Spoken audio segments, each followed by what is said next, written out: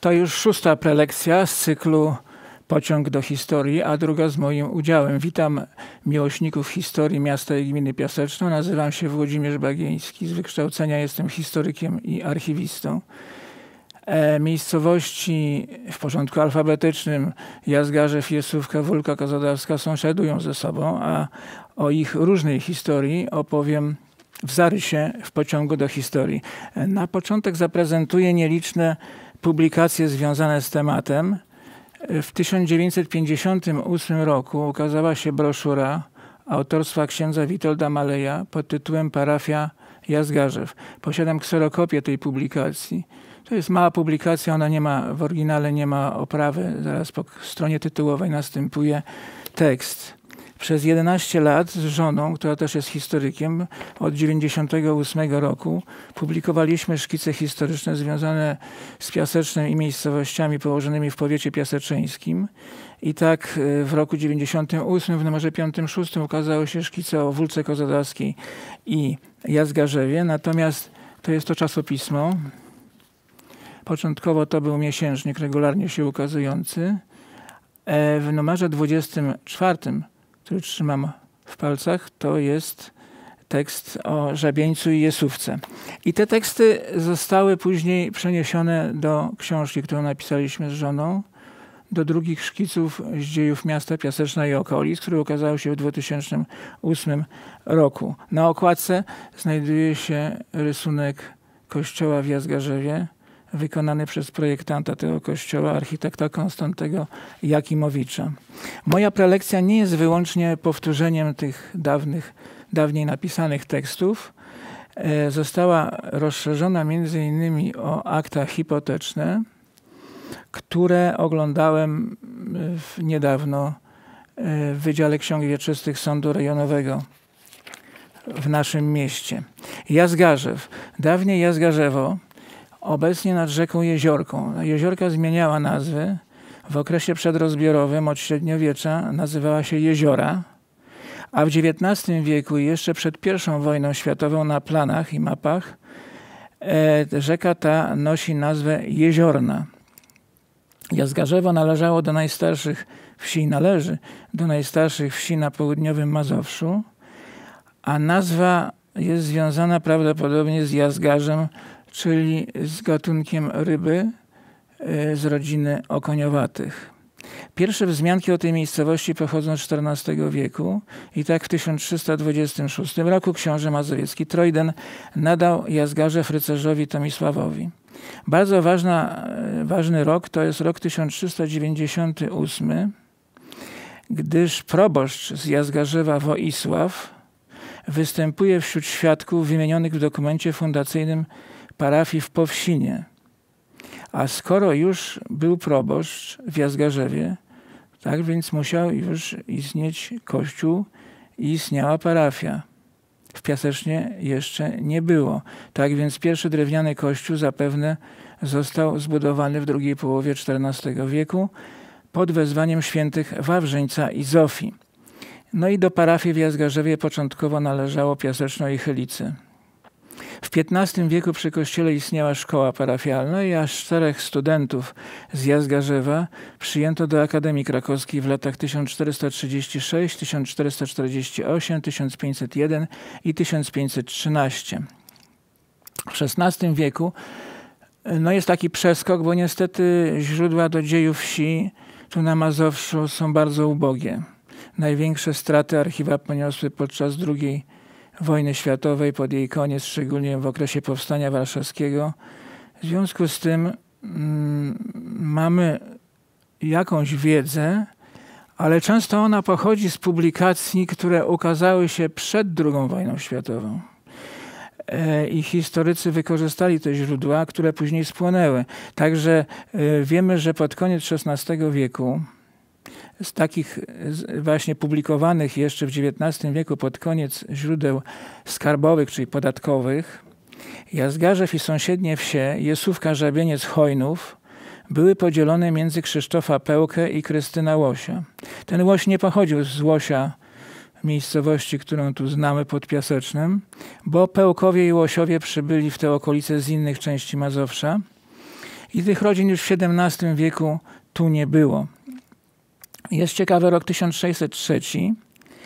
E, kolatorami kościoła, czyli takimi opiekunami, którzy dbali o, mieli dbać o remonty y, świątyni, no mieli tak zwaną ławkę kolatorską, czyli pierwszą ławkę w kościele przed ołtarzem.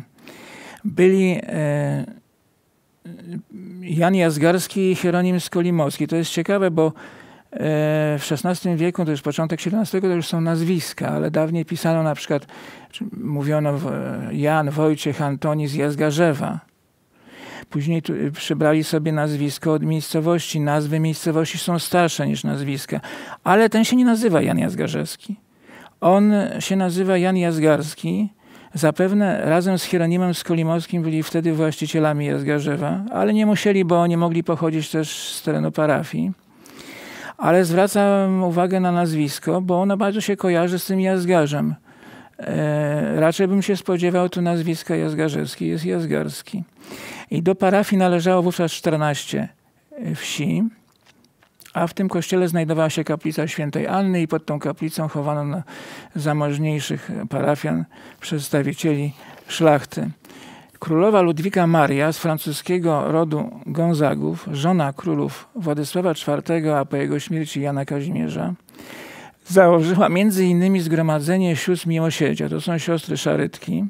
Założyła w roku 1652, a w 1959 powstał Instytut Świętego Kazimierza, będący właśnie pod zarządem Sióstr Miłosierdzia Świętego Wincentego a Paulo.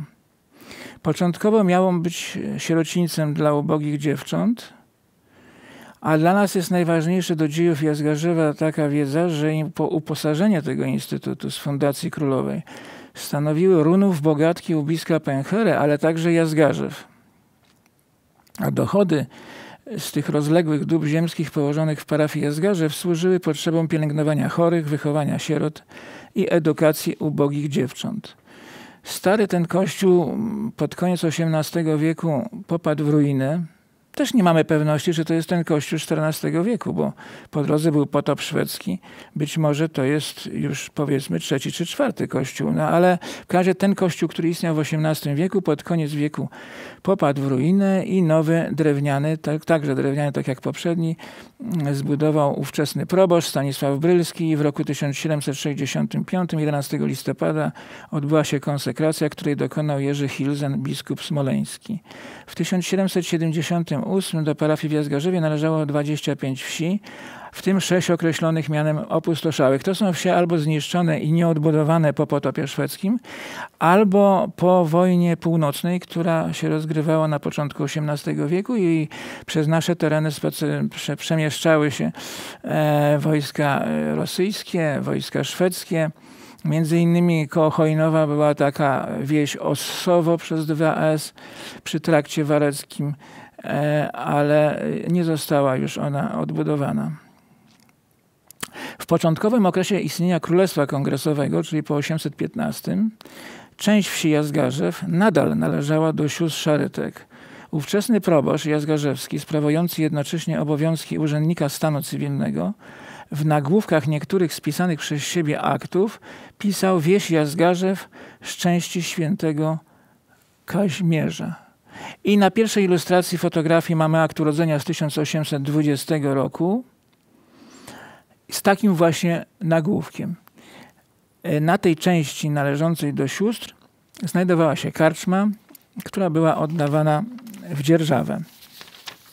Proboszcz posługiwał się dwiema pieczęciami. No miał w swojej parafii pieczęć, a był też urzędnikiem państwowym od 1808 roku więc była pieczęć jeszcze Urzędu Stanu Cywilnego. Czasem e, trafiają się pomyłki. Miał tylko dwie pieczęcie, a czasami się pomylił i, i odcisnął nie ten, co trzeba. Na e, obrazku drugim mamy odcisk pieczęci kościoła parafialnego w Jazgarzewie na dokumencie z 1810 roku, z okresu księstwa warszawskiego. Ale najpewniej to jest jakaś stara pieczęć, może XVIII-wieczna, bo widać jak ten tłok pieczętny jest zużyty, szczególnie tu w polu, gdzie jest święty Wawrzyniec. Nie widać detali. A na następnej ilustracji mamy też pieczęć kościoła parafialnego w Piasecznie, pod wezwaniem, y, przepraszam, w Jazgarzewie, pod wezwaniem świętego Wawrzyńca. Jest po łacinie subtitulo Sancti Laurenti. To jest odcisk, który znalazłem na dokumencie z 1830 roku. I ten tłok pieczętny był w użyciu jeszcze w połowie XX wieku. E, święty Wawrzyniec e, w III wieku naszej ery został skazany przez cesarza Waleriana i zginął śmiercią męczeńską na rozżarzonych kratach.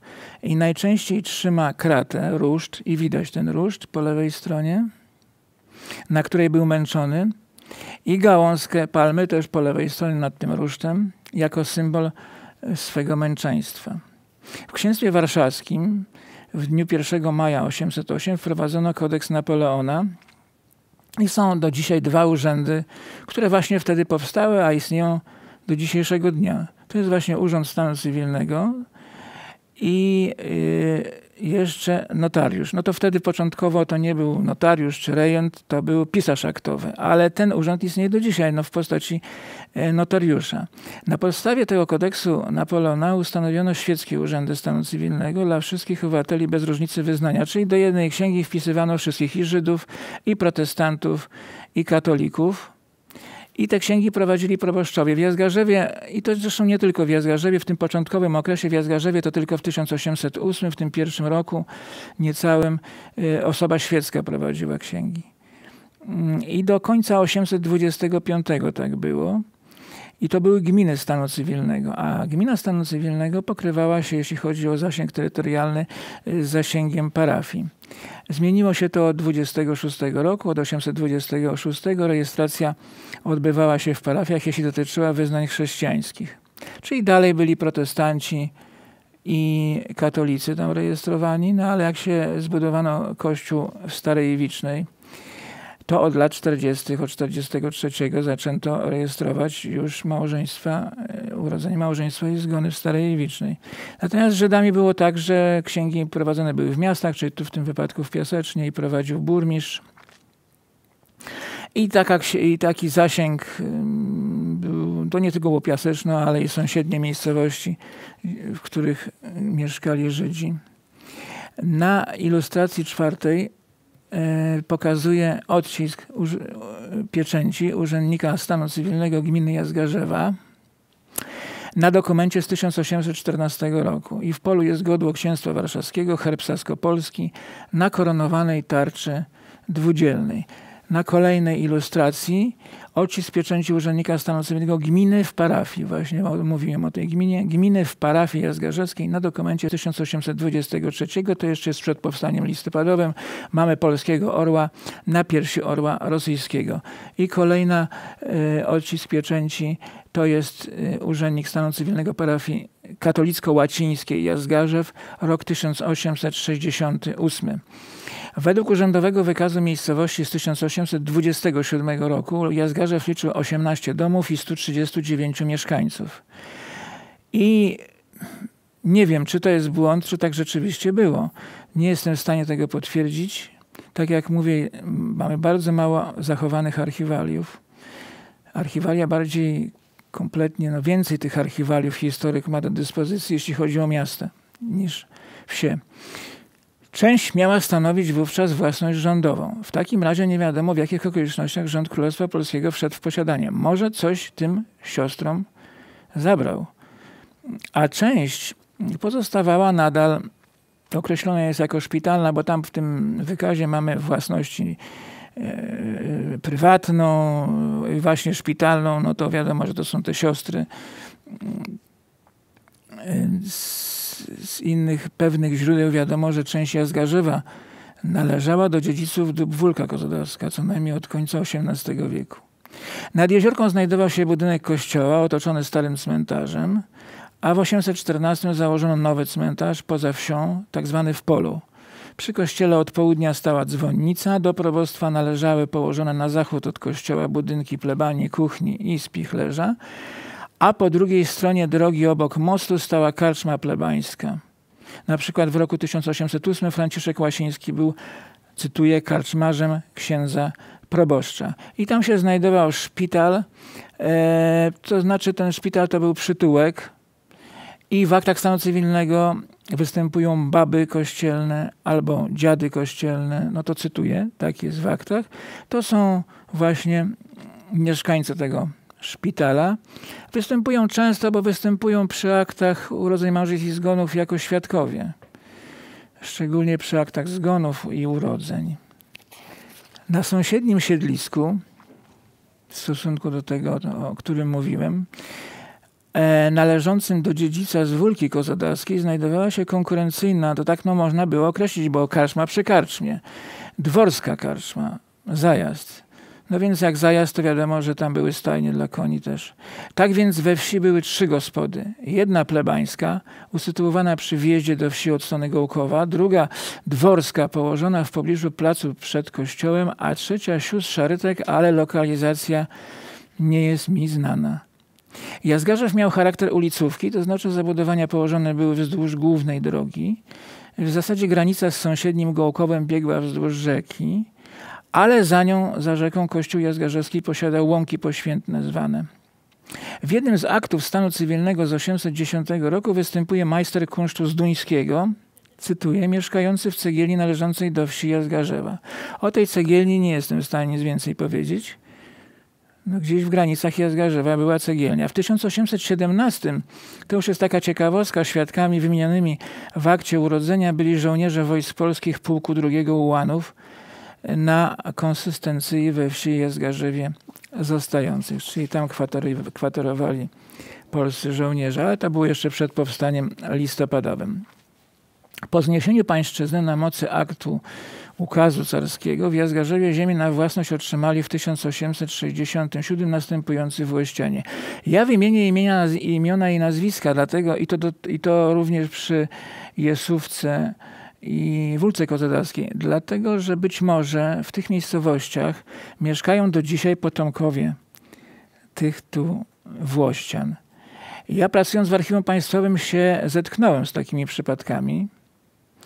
E, osoby odwiedzające archiwum, załatwiające różne sprawy, no się okazało, że są potomkami tych Włościan.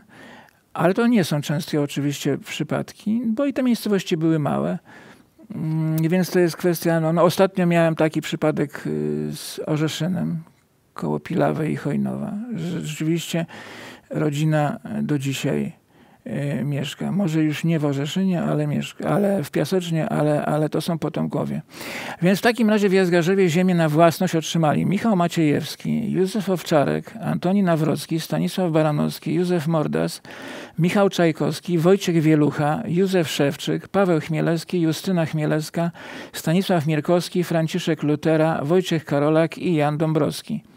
Stali się właścicielami byli chłopami pańszczyźnianymi, stali się właścicielami. I teraz, gdyby chcieli sprzedać tę swoją nieruchomość, no to w domu aktu własności nie mieli. Oni mieli ten akt własności u wójta. I ten wójt miał dokument dla całej wsi. Także jeżeli się chcieli e, udać do notariusza i powiedzmy sprzedać, no to dostawali wypis od wójta. I te wypisy są dołączone do aktów, do oryginałów aktów notarialnych. Co ciekawe jeszcze, yy, no oczywiście to jest Jazgarzew, część ta należąca do Wólki Kozodawskiej, w związku z tym yy, wytyczono wspólne pastwisko wówczas już i osadę szkolną, czyli na razie plac pod szkołę przyszłą. Określono prawo uwłaszczonych do serwitutów leśnych i pastwiskowych i 11 włościan miało prawo do pozyskiwania z lasu dworskiego drewna na remont swoich budynków. Dlaczego trzech pozostałych takiego prawa, takie prawo nie przysługiwało do wyrębu na cele remontowe, nie wiemy, ale trzech nie dostało. Raz na tydzień, to jest też taka ciekawostka, e, wolno im było wywozić po jednej jednokonnej furze zbieraniny, to jest cytat, wyszukanej w lesie bez użycia siekiery. Sześciu gospodarzy obejmował serwitut pastwiskowy, mogli wypasać łącznie osiem krów na łąkach dworskich. W 1867 roku Jazgarzew stał się siedzibą Urzędu Gminnego. Dotychczas należał do gminy Gołków. W okresie I wojny światowej w 1915 roku To jest koniec lipca, bo w pierwszych dniach sierpnia Niemcy zajęli Warszawę, więc pod, gdzieś pod koniec lipca podczas walk rosyjsko-niemieckich spłonął kościół i przez kilka miesięcy nabożeństwa były odprawiane na plebanie, a potem w murach spalonej wikariatki urządzono kaplicę. I na kolejnej ilustracji jest kościół przed zniszczeniem w 915. Nie był to duży kościół drewniany, wolno stojąca e, dzwonnica. Nowy murowany, istniejący do dziś kościół zniesiono na miejscu starego w latach 1923-28. Projektował go architekt Konstanty Jakimowicz z Warszawy, który od 1913 roku był takim etatowym, diecezjalnym architektem w archidiecezji warszawskiej. Ksiądz Malej w tej swojej broszurze parafia Jazgarzew napisał, że był taki pomysł, żeby tego kościoła tu w tym miejscu już nie budować nowego, tylko przenieść e, miejsce budowy, znaleźć w Gołkowie, dlatego że tam było bardziej suche miejsce, to jest nad samą rzeką. No ale zwyciężyła tradycja miejsca. Mieszkańcy się nie zgodzili na takie rozwiązanie, byli przyzwyczajeni do tego, że ten kościół tu był zawsze. Na kolejnej ilustracji, to jest ta, która jest na okładce książki mojej, to jest ten właśnie projekt y, kościoła w Jazgarzewie, rysunek Konstantego Jakimowicza z Warszawy. Nawet tu w lewym górnym narożniku jest jakiś taki zamglony yy, zarys, y, rzut poziomy kościoła. Ale tych ilustracji mam więcej, bo tu mamy fotografię, która na której jest jeszcze taki blisko kościoła most drewniany. To są ilustracje, ja pokażę wszystkie, które ukazały się w periodyku wy, wydawanym w Warszawie Architektura i Budownictwo w 1927 roku. Jest właśnie taki, takie zdjęcie kościoła, jest rzut y, poziomy kościoła, następnie są rzuty elewacji bocznych, Wreszcie przechowana w mojej rodzinie cegiełka na odbudowę kościoła. Na pierwszej stronie mamy kościół w Jazgarzewie pod Warszawą, a na odwrotnej stronie e, Odwrotna strona ma treść ofiara na odbudowę kościoła rzymskokatolickiego w Jazgarzewie pod Warszawą. Bracia i siostry w Chrystusie, kto może niech ofiaruje choć kilka groszy na odbudowę spalonej podczas wojny światowej świątyni. Pan Bóg za ofiarę stokrotnie zapłaci. W nagrodę za ofiarodawców będą odprawiane msze święte po nieskończone czasy. I dalej następuje modlitwa skierowana do Boga. Kolejne zdjęcie, niepublikowane. Mam odbitkę fotograficzną dużego formatu to jest jeszcze z końcowego okresu budowy kościoła, bo brak jest jeszcze poszycia dachu. Już w prawym dolnym narożniku zdjęcia są stosy dachówki ceramicznej. Fotografia, ta fotografia pochodzi z albumu rodzinnego rodziny Markowskich z Piaseczna. Mieczysław Markowski był ostatnim do wybuchu II wojny światowej, ostatnim II Rzeczypospolitej burmistrzem Piaseczna. Kolejne zdjęcie jest wykonane w ubiegłym miesiącu. To i następne pokazuje, bo być może wśród słuchaczy mojej prelekcji są osoby, które dawno nie były w Jazgarzewie albo nie znają Jazgarzewa. Tu mamy front kościoła, sierpień 2020 rok i jedna ze ścian, ściana zachodnia w świetle zachodzącego słońca. Przez pięć lat budowę prowadził z parafianami ksiądz kanonik Ryszard Borkowski i ku jego czci na ścianie wschodniej kościoła jest tablica pamiątkowa, są dokładne daty, nawet e, daty e, tutaj mamy dzienne, od kiedy, kiedy zaczęto budowę, kiedy zakończono. E, świątynię konsekrował ksiądz arcybiskup Stanisław Gal, pierwszy biskup wojsk polskich, tak jest na tablicy. Z tym, że parafia otrzymała nowe wezwanie, już nie Wawrzyniec, tylko święty Roch. Ten francuski XIV-wieczny święty wsławił się heroicznym poświęceniem podczas epidemii dżumy, dżumy w północnych Włoszech i dziś jest uważany za patrona, który strzeże ludzi i bydło od zarazy. Sławny w okolicy odpust w Jazgarzewie na świętego Rocha przypada 16 sierpnia i gromadzi od dawna w pierwszą niedzielę po tym dniu rzesze wiernych. Jak duże one są, to nie wiem, bo, bo w tym roku ja tam nie byłem, ale z opowieści rodzinnych wiem, że w, na przykład przed II wojną światową e, to wielu mieszkańców Piaseczna udawało się do Jazgarzewa i to był taki corocznie stały punkt e, programu mm, albo no, do Jazgarzewa, ale nie tylko do, do Pieczysk też dzisiaj w powiecie grujeckim. W okresie międzywojennym podczas pierwszego powszechnego spisu ludności, który był przeprowadzony 30 września 2021 roku, Jazgarzew liczył 277 mieszkańców, z tym 149 mężczyzn i 128 kobiet. Wszyscy wyznania rzymskokatolickiego i w Jazgarzewie były 43 budynki mieszkalne. W roku 1937 zakończono budowę szkoły powszechnej, a w 1938 czyniono starania o pobudowanie nowej strażnicy dla Ochotniczej Straży. Ta straż powstała w roku 1915. Sądzę, że już za okupacji niemieckiej, a czy pewności, ale raczej tak, chyba w drugiej połowie 1915 roku na budynku, no ta strażnica jest w tej chwili bardzo przebudowana, także to, ale jest tablica pamiątkowa z 2015 roku na stulecie straży umieszczona na budynku. Gmina Jazgarzew istniała do 1954 roku i z dniem 1 lipca 1952 z tej gminy wyłączono gromady Gołków Letnisko, miasto Las Zalesie i Wólka Kozadarska Letnisko i włączono je do miasta Piaseczna, z dniem 1 stycznia 1973 roku Jazgarzew znalazł się w gminie Piaseczną. Kolejna miejscowość to Jesówka. To jest tak samo, tak, też tak stara miejscowość jak Jazgarzew, bo wiemy, że w wieku XV tam już był młyn wodny i stanowił własność rycerską. Jesewa, bo taką nazwę nosiła, e, z jakimi miejscowościami sąsiadowała w XVI wieku, to, to znowu wiemy z tych akt y, podatkowych, skarbowych. E, sąsiadem Jesewy był Żabiniec, czyli Żabieniec i Jastrząbia Wola. Jastrząb, Jastrzębia, dziś Jastrzębie ta miejscowość się nazywała. Wtedy była Jastrząbia Wola. Od zachodu Jazgarzewo, te końcówki właśnie są takie w okresie przedrozbiorowym miały te miejscowości takie końcówki. Mm, Jazgarzewo, Gołkowo, Wola Gołkowska, Głoskowo, Wola Głoskowska, Karlik i Kały. Karlik i Kały to są koło, były koło Głoskowa. Jest jedna miejscowość, która później już się nie pojawia w aktach. To jest Wola Głoskowska, bo e, Gołków i Wola Gołkowska to są miejscowości istniejące do dzisiaj. Głosków też. A gdzie była Wola Głoskowska? Otóż Głosków jest po lewej stronie e, rzeki Jeziorki, a Wola Głoskowska była po prawej stronie. E, były te miejscowości oddzielone rzeką i, tej miejsco i ta miejscowość gdzieś tam nam przepadła, pewnie została zniszczona.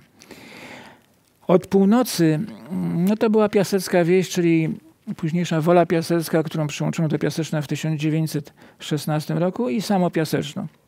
Od południa Ubiska, Bogatki, Grochowa, Pęchery, Piskorka i Ustanowo. No tak, tak to wtedy się nazywały te miejscowości. W 1576 roku Jesewa należała do przedstawicieli stanu szlacheckiego, czyli Krzysztofa Pełki, to oni już występowali przy Jazgarzewie i Krystyna Łosia. Każdy z nich miał po półtora łana, części posiadał młynarz Kolmas bo był tam młyn wodny w tej Jesówce. Pełka miał jeszcze jeden, jedną czwartą łana w Żabieńcu, czyli w Żabińcu, dwa łany w Jazgarzewie, osiem w Chojnowie, a Łoś półtora łana w Żabińcu i sześć łanów w Chojnowie. Obie rodziny wywodziły się spoza południowego Miazowsza, mieszkały tutaj do końca XVI wieku, a po 1600 właścicielami byli grzybowscy, którzy pochodzili z północnego Mazowsza, z powiatu mławskiego. I w, w pierwszej połowie XVIII wieku była taka tendencja ze strony arystokracji, że arystokracja te zniszczone, zadłużone e, wsie, majątki skupowała. Tworzyła takie duże majątności, również na południowym Mazowszu, na naszym terenie. I Maria Zofia Sieniawskich-Czartoryska, pierwszewoto Denhofowa, wojewodzina ruska, stała się w ten sposób, bo to gdzieś od tych grzybowskich przejęła, stała się w roku 1736 posiadaczką dóbr Żabieniec z przyległościami, m.in. z Jesówką.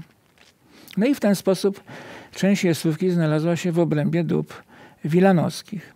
Do rozbiorów Jasówka należała do województwa mazowieckiego, do ziemi czerskiej i powiatu sądowego czerskiego. Granica między ziemią czerską a ziemią warszawską, bo województwo dzieliło się na ziemię, przechodziła wzdłuż rzeki Jeziorki.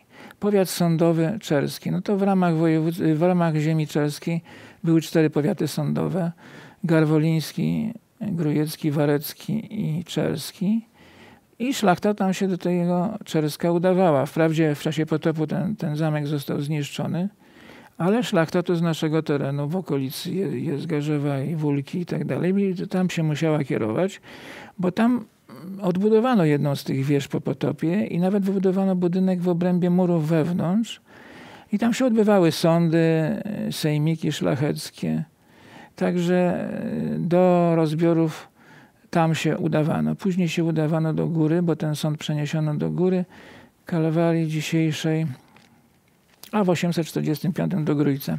W okresie rządów pruskich po trzecim rozbiorze używano nazwy Jeszówka przez SZ, a także w czasach księstwa warszawskiego, a w Królestwie Polskim Jesówka przez dwie literki S. Jesówka sąsiadowała z Żabieńcem i Żabieniec do lat dwudziestych XIX wieku, kiedy wybudowano trakt nowoaleksandryjski, czyli pułaski, ten przechodzący z Piaseczna przez Baniochę w stronę góry, to Jasówka była rzeczywiście bardzo ważnym punktem komunikacyjnym, bo tu rozwidlał się trakt prowadzący z Warszawy przez Piaseczno i to jeden, jedno rozwidlenie w kierunku Warki, a drugie w kierunku Góry i Czerska. Pierwszy z wymienionych, czyli ten do Warki, prowadził na wschód od Jesówki przez Ustanowo Uwieliny Wągrodno-Pieczyska Drwalewo, gdzie przecinał trakt z Grodźca, bo Grójec nazywał się do końca XVIII wieku, nosił nazwę Grodziec, do Czerska i dalej przez, znaczy ten, ten trakt z Grójca do Czerska to przecinał ten Warecki. I dalej poprzez Boglewice dochodził do Warki, a do góry droga prowadziła przez Chojnowo, i na wschód od Dobiesza, nie przez samą miejscowość Dobierz, ale na wschód od Dobiesza. Od końca XVIII wieku część Jesówki wraz z częścią Jazgarzewa Chyliczkami, czyli dzisiaj częścią Piaseczna i Wólką Kozedaską, należała do Franciszka Ryksa, kamerdynera króla Stanisława Augusta Poniatowskiego. Aż do uwłaszczenia chłopów po powstaniu styczniowym wchodziła w skład dóbr Wólka Kozodawska. Pozostała część Jesówki była w posiadaniu właścicieli Wilanowa. W świadomości społecznej, czego wyrazem są zapisy w dokumentach stanu cywilnego parafii Jazgarze, funkcjonował podział Jesówki na część Ryksa i część Lubomirskich. I tu mamy akt zgonu z 1822 roku z nagłówkiem Wieś Jesówka przez 2S Ryksa. I następny akt zgonu, też z tego samego roku 1822, wieś Jesówka, część Lubomirskich. Właściciele dóbr wilanowskich Folwark Grzebieniec z częścią Jesówki oddawali w dzierżawę. W urzędowym wykazie miejscowości z 827 roku Jesówka liczyła 8 domów i 80 mieszkańców. Na mocy ukazu carskiego w 867 włościanie z Jesówki otrzymali ziemię na własność. Byli to spadkobiercy Stanisława Kostarskiego, Franciszek Jakubowski, Jan Zarzycki, spadkobiercy Tomasza Zarzyckiego, Józef Bujski, Józef Zarzycki, Dominik Karczmarski, Józef Wolski, Jan Bujski, spadkobiercy Andrzeja Wiśniewskiego, Łukasz Bujski, Łukasz Widelski i wydzielono też wspólny las. Jest taka sytuacja, że mogą być jakieś błędy w tych, w tych nazwiskach dlatego że to przeprowadzał specjalnie powołany wówczas powstał Urząd do Spraw Włościańskich, ale tam pracowali Rosjanie. I tu się zdarza, że, że te nazwiska czasami są cyrylicą, bo to są dokumenty już w języku rosyjskim. Cyrylicą są zapisane w taki sposób, że czasami nie można jednoznacznie raz napisali bójski, a innym raz bojski. No to to są to detale, ale, ale z tym się trzeba liczyć, że mogą być jakieś jakieś tam z nazwiskami, mogą się te nazwiska tak nie, zgadzać dokładnie. I to był dokument, to jest pierwsza strona. Takie były te tabele likwidacyjne z godłem państwowym rosyjskim. I tu mamy pierwszą stronę takiej tabeli likwidacyjnej, tego właśnie aktu własności dla całej wsi, który to dokument przechowywał wójt. I tu na pierwszej stronie czytamy, że to jest gubernia warszawska, powiat warszawski, okręg czerski, bo to jest okręg sądowy czerski, były okręgi, terytorium działania sądu, okręg. Gmina Gołków I to wchodzi w skład dóbr głównych Wólka Kozadawska Wincentego Domańskiego. Wólka Kozadawska jest pisana tak jak dzisiaj. Wólka Kozadawska, nazwa miejscowości, tu w tej tabeli. Zwracam na to uwagę, bo przy Wólce Kozadawskiej jeszcze o tym będę mówił, o tej nazwie miejscowości. Po październikowych walkach niemiecko-rosyjskich Niemcy urządzili w pobliżu wsi Jesówka cmentarz. Miejsce to posiada nieurzędową nazwę Różanka od dzikich róż porastających przed restauracją tego cmentarza mogiły żołnierzy. Napis wyryty na kamieniu przy wejściu na cmentarz informuje, że spoczywa na nim 76 żołnierzy niemieckich i 124 rosyjskich. Na początku roku 1915 władze rosyjskie w Grójcu, to był powiat grujecki, zwróciły się do wójtów i do wójta Jazgarzewa.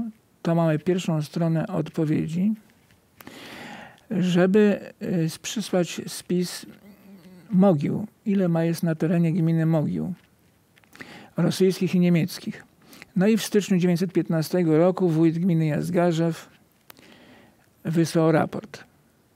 Pytano też o konie, czyli są jakieś grzebowiska koni. Tu, napi tu napisał, że liczba tych padłych koni w czasie tej potyczki czy bitwy no nie jest duża, tak? Nie, nie, nie, ma, nie ma jakichś większych takich grzebowisk. Pytano, czy te mogiły znajdują się blisko jakichś cieków wodnych, miejscu, miejsc poboru wody.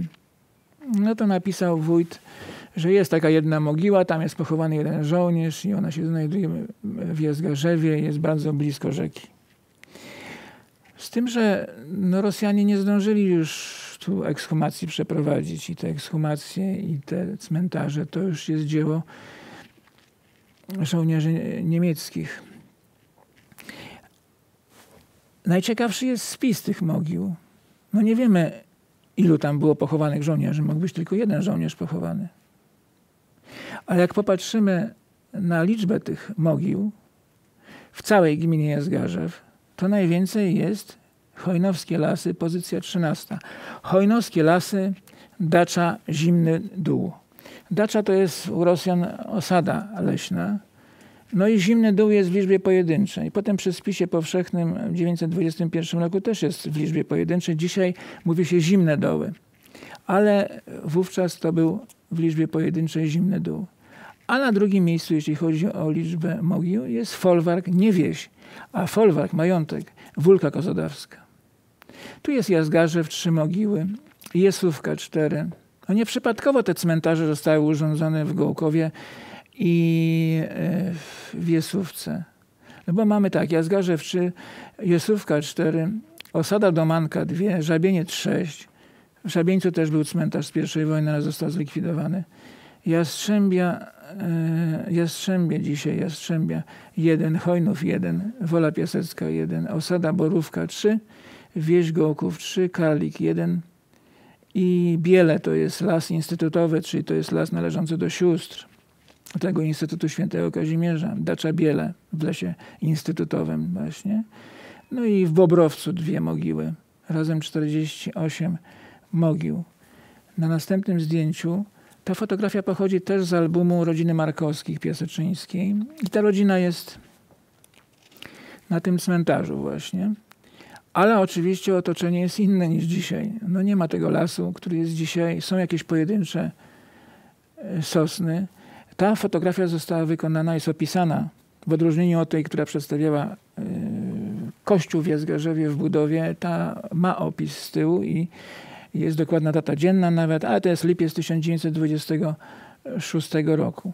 I fotografia kolejna, to jest fotografia, którą ja wykonałem w grudniu 2020 roku. Nie widać już krzewów dzikich róż. Kiedyś one tak porastały, ten cmentarz, kiedy był taki dziki i, nikt się nim specjalnie nie opiekował, nie zajmował, że, że, trudno było tam w ogóle wejść na teren tego cmentarza. A jeśli już, to można było przejść. Nie było jeszcze tej kapliczki, ona jest teraz odbudowana. Podobno ta, która jest na zdjęciu Markowskich, została zniszczona w 1944 roku. No tak mój ojciec między innymi twierdził. W każdym bądź razie E, zarośnięte to wszystko było i nikt się tym specjalnie nie zajmował takim cmentarzem. E, tu widać, e, bo to był grudzień 2020, no to widać wystrój jeszcze po pierwszym listopada, jakieś chryzantemy przy każdym krzyżu. Ten cmentarz został rozkopany. Ja pamiętam to. Ja się gdzieś na początku lat 80. tam pojawiłem na tym cmentarzu.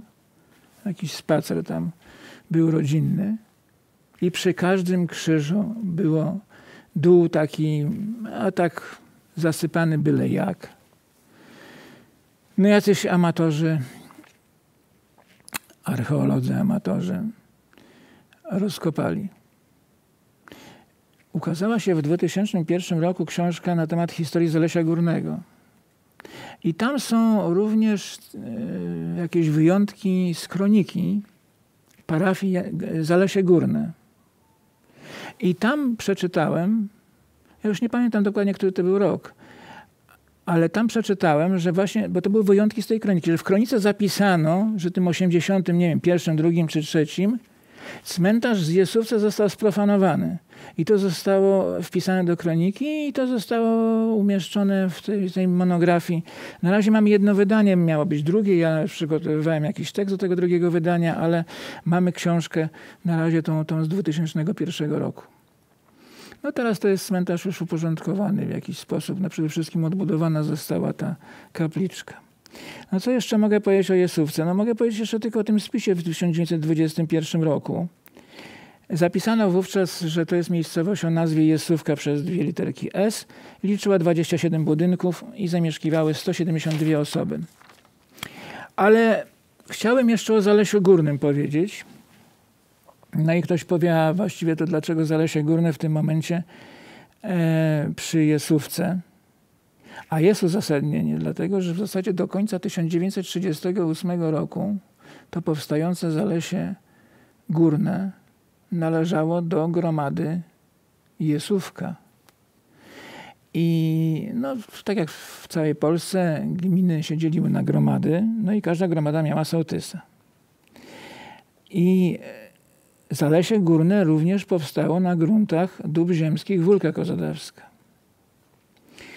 W II Rzeczpospolitej zaczęto realizować nowoczesne koncepcje urbanistyczne tzw. Tak miast ogrodów i miast lasów i zakładano nowe osiedla w okręgu podstołecznym w warunkach zdrowych, wygodnych, z zachowaniem naturalnego piękna przyrody. A ustawa sprzyjała, bo ustawę uchwalono w 25 roku o wykonaniu reformy rolnej i ona wprowadziła przymusową parcelację majątków prywatnych. W związku z tym ten właściciel Wólce Kotodawskiej w Ustanowie no to oni musieli to zrobić. No, musieli rozparcelować, ponieważ parcelacja przymusowa dotyczyła majątków, których obszar przekraczał 60 hektarów. Reformę realizował bezpośrednio właściciel majątku, który sprzedawał działki indywidualnym nabywcom za gotówkę. Zezwolenia na sprzedaż każdej parceli w powiecie grójeckim wydawał do końca 1933 roku Powiatowy Urząd Ziemski w Grójcu, a od 1934 Starostwo Powiatowe w Grójcu, a fundusze uzyskiwane na zasadzie kredytu bankowego, po prostu najczęściej w komunalnych kasach oszczędności i w innych bankach. I w ten sposób można było kupić plac, pobudować domek jakiś letniskowy. Zalesie Górne powstało nie tylko na terenie lasów należących do dóbr ziemskich Wólka Kozłodawska, ale również i u Stanów na pograniczu z lasami dóbr ziemskich Wilanów. Na początku lat 30. utworzono trzy obszary parcelacji. Osiedle Zalesie Górne, wydzielone z dóbr ziemskich Wólka Kozłodawska, to jest gmina Jazgarzew, oraz Zalesie Wyżyny i Zalesie Wrzosy, wydzielone z dóbr ziemskich Ustanów, które należały do innej gminy, bo do gminy Wągrodno. Plan Zalesia Górnego sporządził Klemens Godlewski Mielnicz przysięgły z Grójca w roku 1930, a Rada Gminna Gminy Jazgarzew w listopadzie 1936 postanowiła zwrócić się do władz nadrzędnych o włączenie do gminy osiedli Zalesie Wyżyny o powierzchni 115 hektarów i Zalesie Wrzosy o powierzchni 67 hektarów położonych w gminie Wągrodno, a to z uwagi na to, tu jest cytat, iż osiedla noszą jeden i ten sam charakter co letnisko Zalesie Górne – i za włączeniem przemawia również fakt zaokrąglenia granic gminy Jazgarzew. Sprzedającym od 1931 roku działki w osiedlu Zalesie Górne był mieszkaniec Warszawy Jan Racięski. Zastrzeżono, i tu cytat, całkowitemu wyrębowi i zmianie rodzaju użytkowania ulegną tylko te części lasu, które zgodnie z planem zabudowania i parcelacji przeznaczone są na drogi, ulice, place użyteczności publicznej oraz na poszczególnych parcelach. No to się wiąże z budową domu. W roku 1932 działki o numerach od 222 do 226 nabyło Towarzystwo Przyjaciół Gimnazjum Państwowego im. Narcyzy Żmichowskiej w Warszawie. Zalesie Górne staje się samodzielną gromadą od 1 listopada 1938 roku. Rada Gminna Gminy Jazgarze w zapoznaniu się ze stanowiskiem Wydziału Powiatowego, czyli organu wykonawczego starosta w Grójcu, w sprawie utworzenia oddzielnej gromady pod nazwą Zalesie Górne w końcu 1937 roku wyraziła przychylną opinię. W uzasadnieniu czytamy, i to jest cytat, osiedle to nosi charakter wybitnie letniskowy. Jest już gęsto zabudowane, to jest rok 37.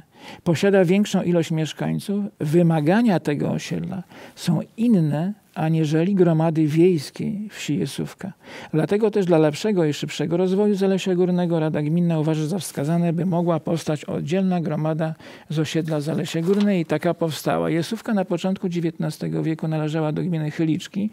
To za czasu Ryksa, Później do gminy Gołków, no i w latach 67, 867 do 954 roku do gminy Jazgarzew. I trzecia miejscowość, o której opowiem, to jest Wólka Kozodawska. Wólka Kozodawska jest młodsza od sąsiednich miejscowości Jazgarzewa i Jesówki. E, powstała najprawdopodobniej w XVIII wieku i to pod koniec, czy w drugiej połowie. Na prawie czynszowym, czyli przybysze pragnący się w niej osiedlić, otrzymali zwolnienie od podatku, tak zwaną wolniznę w celu łatwiejszego zagospodarowania terenu. Nazwa może wskazywać na hodowców kóz, którzy dostarczali produkty kozie do dworu. To jest moje zdanie. I, I, trudno jest powiedzieć, bo tego nie ustalimy, dlaczego taka nazwa. Ale mm, chciałbym powiedzieć, że no, Wólka, jak powstała jeszcze przed rozbiorami, no to otrzymała taką nazwę. Mogła się nazywać Wola, no ale była mniejsza, to nazwali ją Wólka. Mogła się nazywać Wolica też. O tym jeszcze powiem. Ale od połowy XIX wieku powstawały kolonie. I ci osadnicy w tych koloniach też otrzymywali wolniznę. Tak jak przed rozbiorami. No bo przecież musieli dom pobudować, jakoś się zagospodarować. Trzeba było ich na początkowym okresie zwolnić z podatków ale tym miejscowościom nie dawano już takich nazw dwuczłonowych. Już w XIX wieku czy XX już nie ma żadnej dodawanej wólki czy woli. To były to był jeden wyraz. I to przykłady najbliższe. Orzeszyn z Pilawą. Orzeszyn z Pilawą koło Chojnowa no, powstały jako kolonie na terenie dób wilanowskich. I one mają pojedyncze nazwy. Sąsiedni Solec, pierwotna nazwa Szulec, powstał też w 854 roku terenie e, majątku Łubna. Pojedyncza nazwa Szulec-Solec. Albo tu po pobliżu Julianów na przykład, na terenie dawnego folwarku Chyliczki. Pojedyncza nazwa. No ale o wolach i wulkach i wolicach ciekawie napisał profesor Jan Miodek w książce Rozmyślajcie nad mową, wydanej w Warszawie w 1998 roku i chciałem zacytować, bo to on objaśnia, jak to z tymi wolami i wulkami było. Na czoło wysuwają się też zdecydowanie wole, występujące samodzielnie z przydawką określającą, przykład wola łużańska, wola mysłowska, już wszystkich nie będę wymieniał, oraz w postaciach zdrobniałych, wulka i wolica. Też z przydawkami określającymi przykład wulka lipowa czy wulka smolana. Źródła historyczne rejestrują około 1500 wól, wólek i wolic Pierwsze wiadomości o wolach pochodzą z XIII wieku, lecz ich powstawanie nabrało masowego charakteru dopiero w stuleciu XVI i przeciągnęło się na czasy nowożytne, czyli do rozbiorów, nie tracąc wiele na intensywności. Wola oznacza czasowe uwolnienie osadników zakładających nową osadę od czynszów i robocizny, jeśli była ona zastrzeżona dla pana wsi, albo często też i od dziesięciny kościelnej, choć nieraz duchowieństwo domagało się jej zaraz z pierwszych plonów po wykarczowaniu lasu na rolę. To uwolnienie, które dziś w pracach historycznych określa się mianem wolnizny, zwano w dokumentach lokacyjnych, takich właśnie dokumentach założycielskich, w wypadku na przykład tego e, Solca w gminie, Górze, gminie Góra Kalwaria, to znalazłem w Grójcu notariusza akt notarialny założenia tej miejscowości w 1854. E, Libertas w tych dokumentach jeszcze tych łacińskich, a po polsku wola. Księgi chrztów parafii Jazgarzew zachowały się jeszcze sprzed potopu, bo od 1624 mamy urodzenia, małżeństwa 1626 i zgony 1704. Księgi te trafiły do archiwum archidiecezjalnego, archidiecezjalnego warszawskiego jeszcze w latach 60., więc nie ma ich w parafii w Jazgarzewie. I one nie są jeszcze zeskanowane. No przyjdzie czas pewnie, że zostaną, bo na przykład parafia piaseczna ma już takie księgi przedrozbiorowe zeskanowane i dostępne w internecie. A najstarsza zeskanowana księga dotyczy chrztów i pochodzi z okresu rządów pruskich po trzecim rozbiorze i umieszczona jest na stronie internetowej Polskiego Towarzystwa Genealogicznego. Tu mamy na następnym zdjęciu kartę tytułową Księgi Chrztów parafii Zgarze e, i mamy pieczęcie własnościowe Archiwum Archidiecezji Warszawskiej, takie tutaj fioletowe. A nas naj, mnie najbardziej interesowała nazwa. No to jest stara księga, koniec XVIII wieku, jak zapisywano nazwę wsi Wólka Kozodawska. I zapisywano tak samo jak dzisiaj. Ten środkowy akt to jest akt chrztu dziecka urodzonego w Wólce Kozodawskiej w roku 1796. I w nagłówku tego aktu mamy Wilna Wólka Kozodawska czytelnie, nie ma żadnych wątpliwości. Tak się ta miejscowość nazywała. Ale my nie wiemy, dlaczego w okresie księstwa warszawskiego od 808, kiedy prowadzono już te księgi stanu cywilnego i później nawet do roku 1820 urzędnicy stanu cywilnego gminy Jazgarzewskiej pisali Wólka Kozodajka. Skąd to się wzięło? Czy to jest jakaś fanaberia e, tego pisarza? Czy ten ksiądz, który był na miejscu, nie wiedział? Czy e, ten e, wikary, który tam przyszedł dopiero co i kazali mu prowadzić te księgi, to, to nie, nie bardzo wiedział? A może ta osoba świecka, która początkowo przez pół roku prowadziła te księgi, była spoza tej parafii i, nie znała tych nazw miejscowości, nie wiadomo. No w każdym razie z taką sytuacją mamy do czynienia, że jest okres kiedy urzędnicy stanu cywilnego piszą wulka kozodajka. Piszą przez Y, czasami przez I krótkie, ale zazwyczaj przez Y. I mamy tu akt, on jest tak przedzielony czarnym marginesem, dlatego że początek aktu jest, jak się księga rozłoży, w dolnej części z lewej strony, a dokończenie jest z prawej strony u góry. Ale to już taki detal. I co mamy? Wieść Wulka Kozodajka w nagłówku. Ale to jest akt z 1809, i jest taka sytuacja, że w treści tego aktu wcale nie ma wólki kozodajki, tylko jest wólka należącej do wólki kozodawski jest w tym akcie, w, tym, w, w treści. A co to jest za akt? Bo on jest bardzo ciekawy, dlatego że to jest akt urodzony z 809 córki Gdali Ickowicza Jazgara, mieszkającego w karczmie należącej do wólki kozodawskiej właśnie. Urodziło się to dziecko w rzeczonej karczmie. To jest cytaty są. Matka Necha z Jaszków, świadkowie Herszek Dalowicz, Jazgar, utrzymujący karczmę zwaną Wyględówka. O tej karczmie jeszcze powiem, bo ona należała do Wólki Kozodawskiej. To jest cytat utrzymujący karczmę zwaną Wyględówka należącą do Wólki Kozodawskiej. I Izaak Danielowicz w browarze w Wólce Kozodawskiej mieszkający. I co my tu mamy? Jazgar. Znowu to się kojarzy z Jazgarzewem. Tak jak mieliśmy tego szlachcica Jazgarskiego w 1603 roku, a tu mamy Żyda, który sobie tutaj, którego, to, to, są, to w zasadzie nie są nazwiska jeszcze, dlatego że nazwiska tym Żydom nadano w 1821 roku w okresie Królestwa Polskiego Kongresowego i Żydzi dostali certyfikat. Każdy dostał od władz powiatowych ówczesnych E, certyfikat i tak się miał nazywać. On sobie tam przybrał jakieś nazwisko. Z, jakim, co, co, co, co tutaj można przeczytać? Gedala, no to jest imię, tak? Gedala, no Gedala. Ickowicz, to znaczy, że je, jego ojciec miał na imię Icek. A on sobie tutaj jeszcze, żeby ich tam, może się powtarzały te imiona, e, no jakiś sobie dodał taki przydomek, powiedzmy sobie, Jazgar. To się tak kojarzy z tym Jazgarzewem. E, I teraz następny akt z 811. I tu już mamy tylko Wólkę Kozodajkę. Tu już y, mamy akt urodzenia córki Icko, czyli Icka Jazgara, arendarza, czyli właśnie takiego karczmarza we wsi Wólce Kozodajce. Już jest in w nagłówku i w treści aktu dziecko urodziło się w Browarze pod numerem siódmym, a matka Szpetla z Michlowiczów, świadkowie Abram Michlewicz, arendarz we wsi Wólce Kozodajce mieszkający, wuj rzeczonego dziecięcia i Herszek Jazgar, stryj wyżej wspomnianego dziecięcia. No i bardzo ładne podpisy. Żydzi się tu podpisali. Urzędnik stanu cywilnego te podpisy przetłumaczył na język polski. Icko, owszem, jest w treści aktu, ale podpisał się jako Icek. Tak zostało to przetłumaczone. Więc ta kozodajka się tu nam pojawiła, z tym, że bardzo ważna jest ta pieczęć.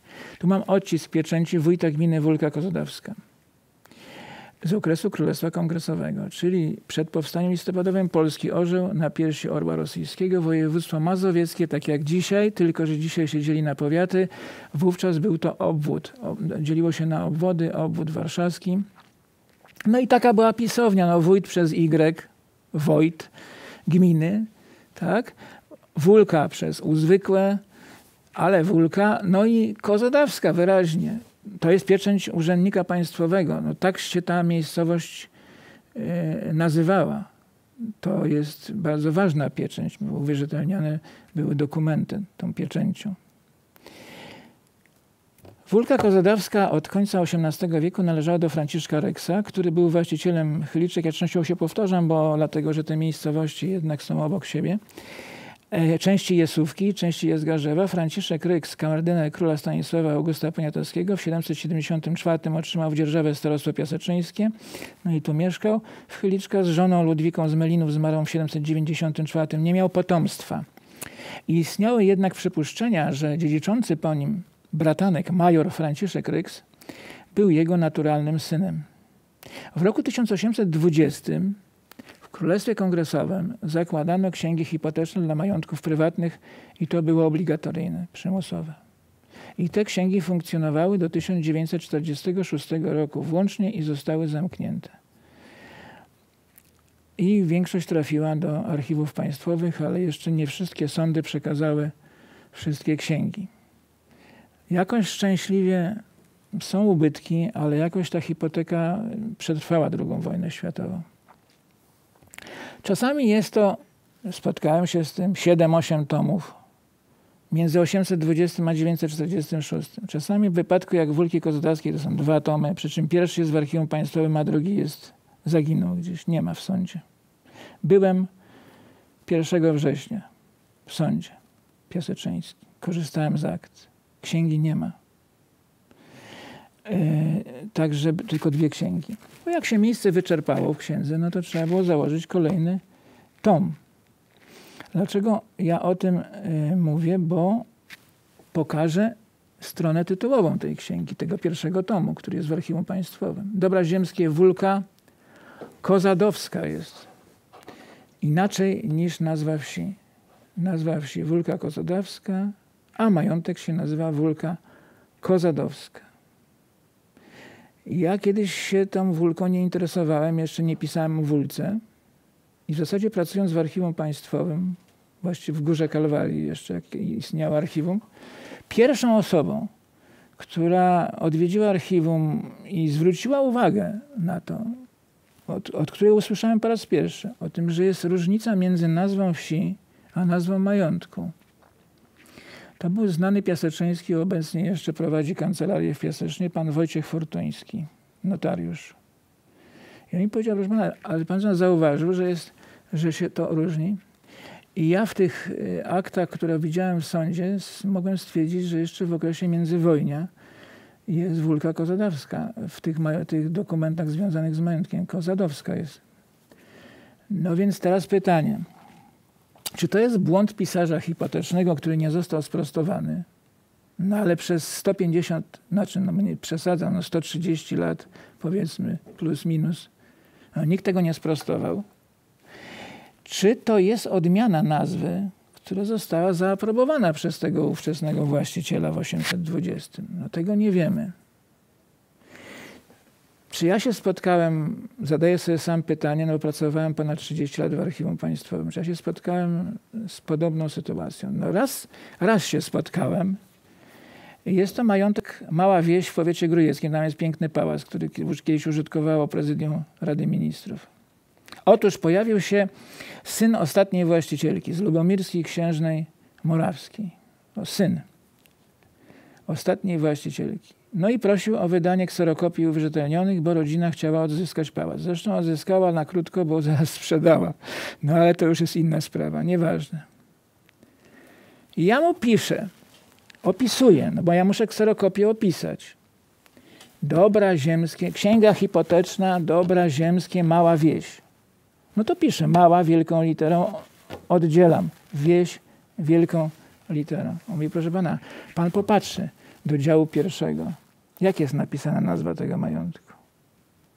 Mała wieś, pisana razem, mała, wielka litera M i wieś, mała litera W. Dobra małowiejskie. Pan tak napisze, jak jest w aktach, a nie tak, jak się miejscowość wieś nazywa. Bo majątek się nazywa Mała Wieś. Tak jest pisany. No więc nie dojdziemy, dlaczego jest Wilka Kozodawska. Jest taka sytuacja w sądzie, o ile pierwszy tom został zamknięty w roku 1899 z braku miejsca, założono tam drugi i tego tomu drugiego nie ma w sądzie. W sądzie są dokumenty do tego właśnie drugiego tomu. Nie jest ich może tak za dużo, ale dwa takie poszyte, szyte, do, zszyte dokumenty w dwóch miękkich okładkach. No ale one się kończą na 931 roku, ale przecież te księgi funkcjonowały do 46. Nie ma dokumentów z lat 30., nie ma księgi, ale w tych dokumentach z lat 20. XX wieku dalej jest wulka kozadowska. No więc to jest taka właśnie ciekawostka, ale, ale coś, coś się za tym kryje. Tak? No i teraz wracamy do Ryksa. Otóż a to może jeszcze zostanę przy tym, bo proszę zwrócić uwagę, jak jest ta jesówka to zapisane ciekawie. Jeżowka. Z kropką. Ja z tym w różnych źródłach się spotkałem, ale na ogół w XIX wieku to jest jesówka przez dwie literki S. A tutaj mamy jeżówkę i ta jeżówka mi się tam kilka razy pojawiła w aktach późniejszych. I Jazgarzew litera A należały y, części, bo to jest tak, dobra ziemskie wulka Kozadowska, do których należą części na Jazgarzewie litera A i na Jeżowce litera A. Nie dojdziemy dzisiaj, co to była ta litera A, w którym to było dokładnie miejscu, bo nie ma planu, nie zachowały się plany żadne. Być może nie było już litery B i C, ale może to jest tak, że jest Jazgarzew, Jazgarzew litera A, Jeżowka, czyli Jesówka i, i Jesówka litera A. No jakieś tam kawałki. No wiemy, że Wólka Kozodawska właściciel miał coś tam w Jazgarzewie, jakąś, jakiś kawałek i w tej Jesówce też coś tam posiadał. Do tego działu pierwszego wpisywano odłączenia i przyłączenia do majątku i tu zaraz na samym dole są odłączenia związane z uwłaszczeniem, o którym mówiłem w roku 1867. W tym samym roku, 1827, bo mówiłem o tym, o tym akcie, że Franciszek Ryks przekazuje synowi Stanisławowi, majorowi, i tu major jest wpisany do tej księgi w dziale drugim jako właściciel. W tym samym 827 roku pokazuje się takie pomnikowe wydawnictwo. I to wydawnictwo bardzo poważne, bo to ówczesne ministerstwo wydało Komisja Rządowa Spraw Wewnętrznych i Policji, odpowiednik powiedzmy dzisiejszego Ministerstwa Spraw Wewnętrznych i Administracji. To, była, to jest tabela miast i wsi osad Królestwa Polskiego z wyrażeniem ich położenia i ludności alfabetycznie ułożona w biurze komisji. Pasa dwutomowa, do każdego tomu jest errata, no bo popełniono różne błędy w druku. No i co tam znajdujemy? Wólkę korzodańską. W takim poważnym wydawnictwie. Wólka korzodańska, z z kropką. To się tylko raz pojawiło mi. Ja już się z taką nazwą wólki nie spotkałem. No jest ewidentny błąd, tylko on nie został sprostowany. Tam jest errata do tego tomu, ale nie zostało to sprostowane. No i ta wulka liczyła wówczas w 827 roku 11 domów i 128 mieszkańców.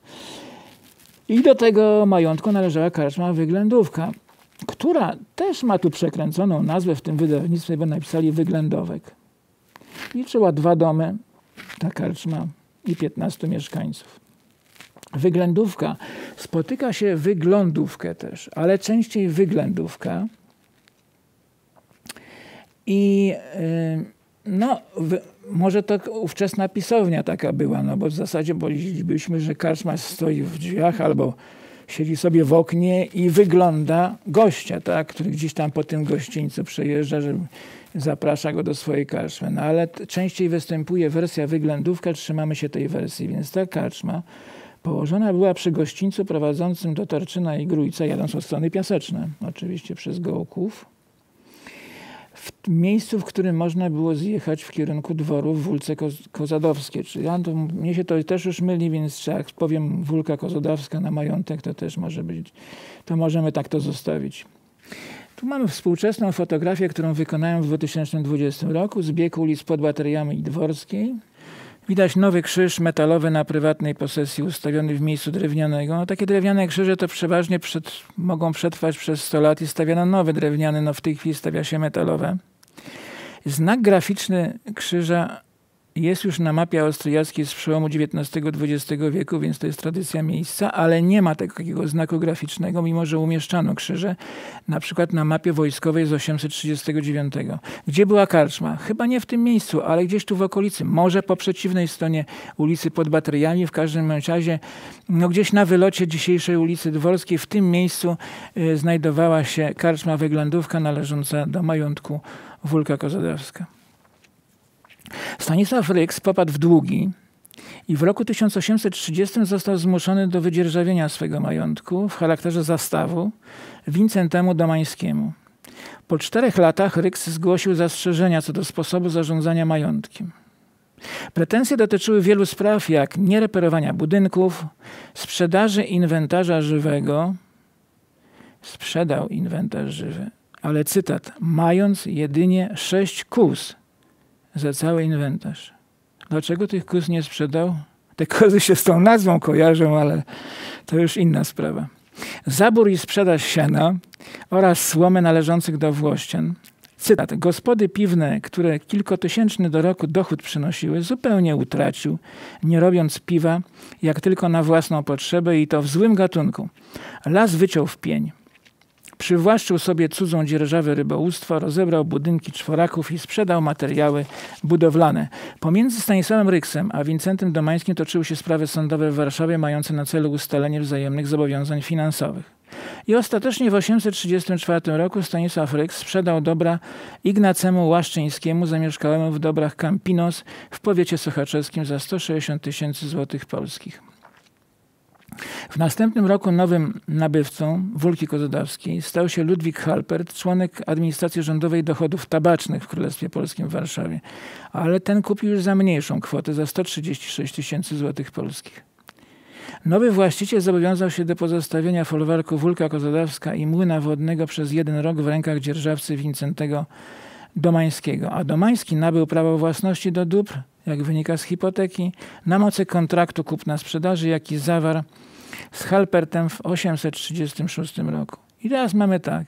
Ten z Campinosu 160 tysięcy 160 tysięcy zapłacił. Ten pan od, tych, od tej tabaki 136, a ten kupił aż za 180 tysięcy ten, ten majątek. Tacy właściciele, którzy byli krótko, to i najczęściej tu nie mieszkali w ogóle. Oni byli tylko właścicielami, formalnie byli właścicielami, a tu mieli dzierżawcę. Potem każdy z tych właścicieli był wójtem. To wójtami do roku 867, bo potem to już nie byli wójt, y, właściciele majątków, tylko miejscowi mieszkańcy, bogaci, wybierani co trzy lata na kadencję trzyletnią, ale to już jest inna sprawa. Właściciel majątku był wójtem. On oczywiście składał podpisy, ale on się biuro, biurokracją nie zajmował. On miał podwójta, który mu prowadził całe te sprawy takiego urzędu. No to był urząd naj, najniższego szczebla administracji państwowej. Do majątku Wólka Kozodawska, oprócz młyna wodnego i browaru, tam w, z okresu tego pierwszej połowy XIX wieku mamy informację, że Pewnie był młyn, ale nie było tam możliwości mieszkania, dlatego że i młynarz, i czeladnik młynarski, którzy występują w aktach stanu cywilnego, i bednarz, który tam był potrzebny, bo tu browar był.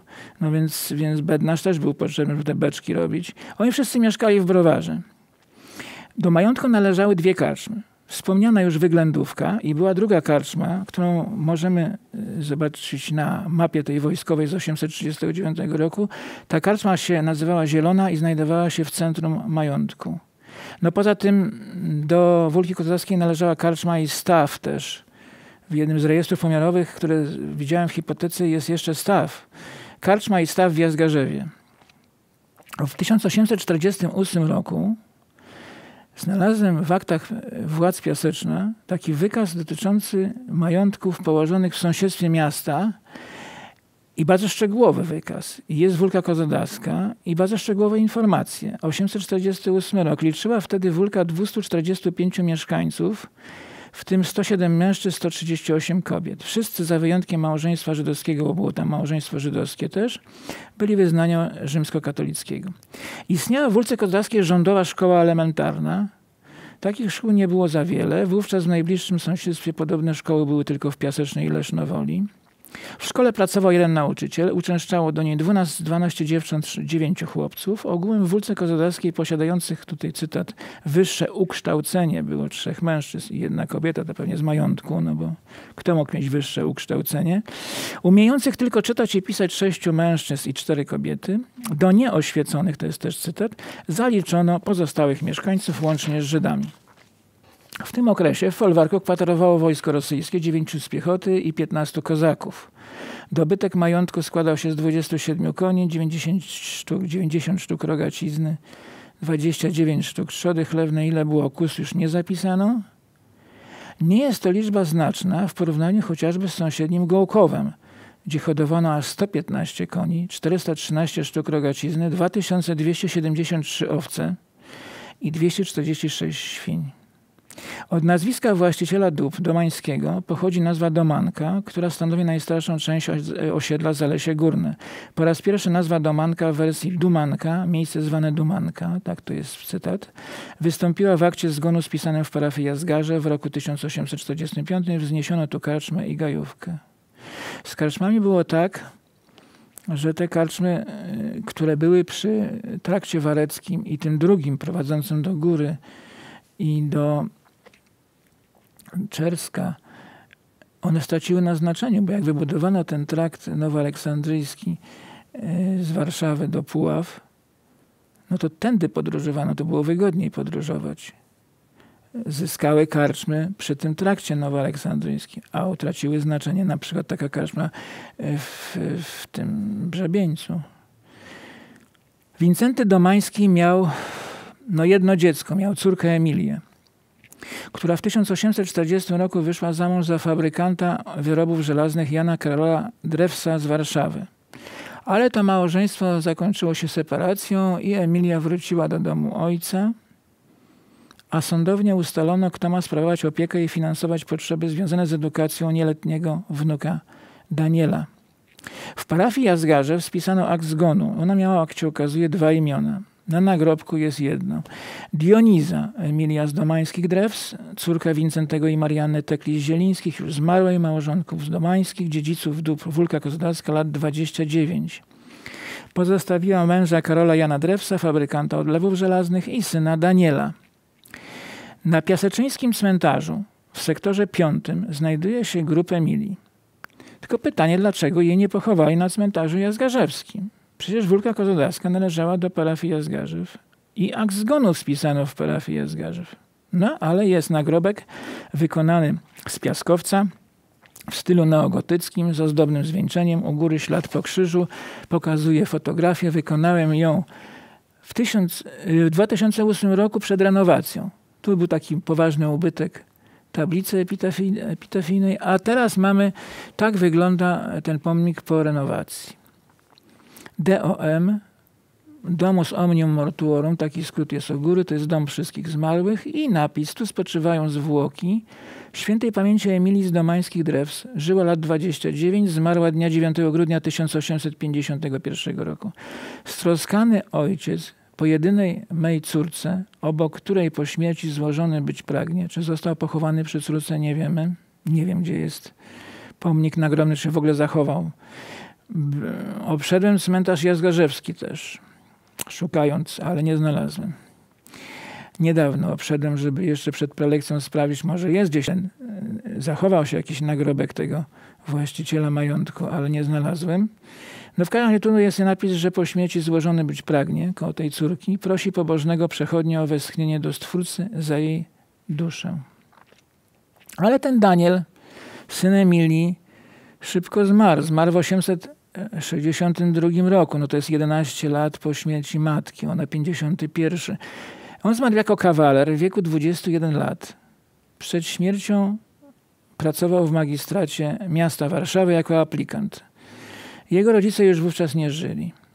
No i w tej sytuacji owdowiały i osamotniony Wincenty Domański w następnym roku, czyli 1863, jak wynika z akt hipotecznych, przysposobił swojego nieślubnego syna Ludwika Górniakowskiego. No i Ludwik Górniakowski od tej pory nazywał się Ludwikiem Domańskim.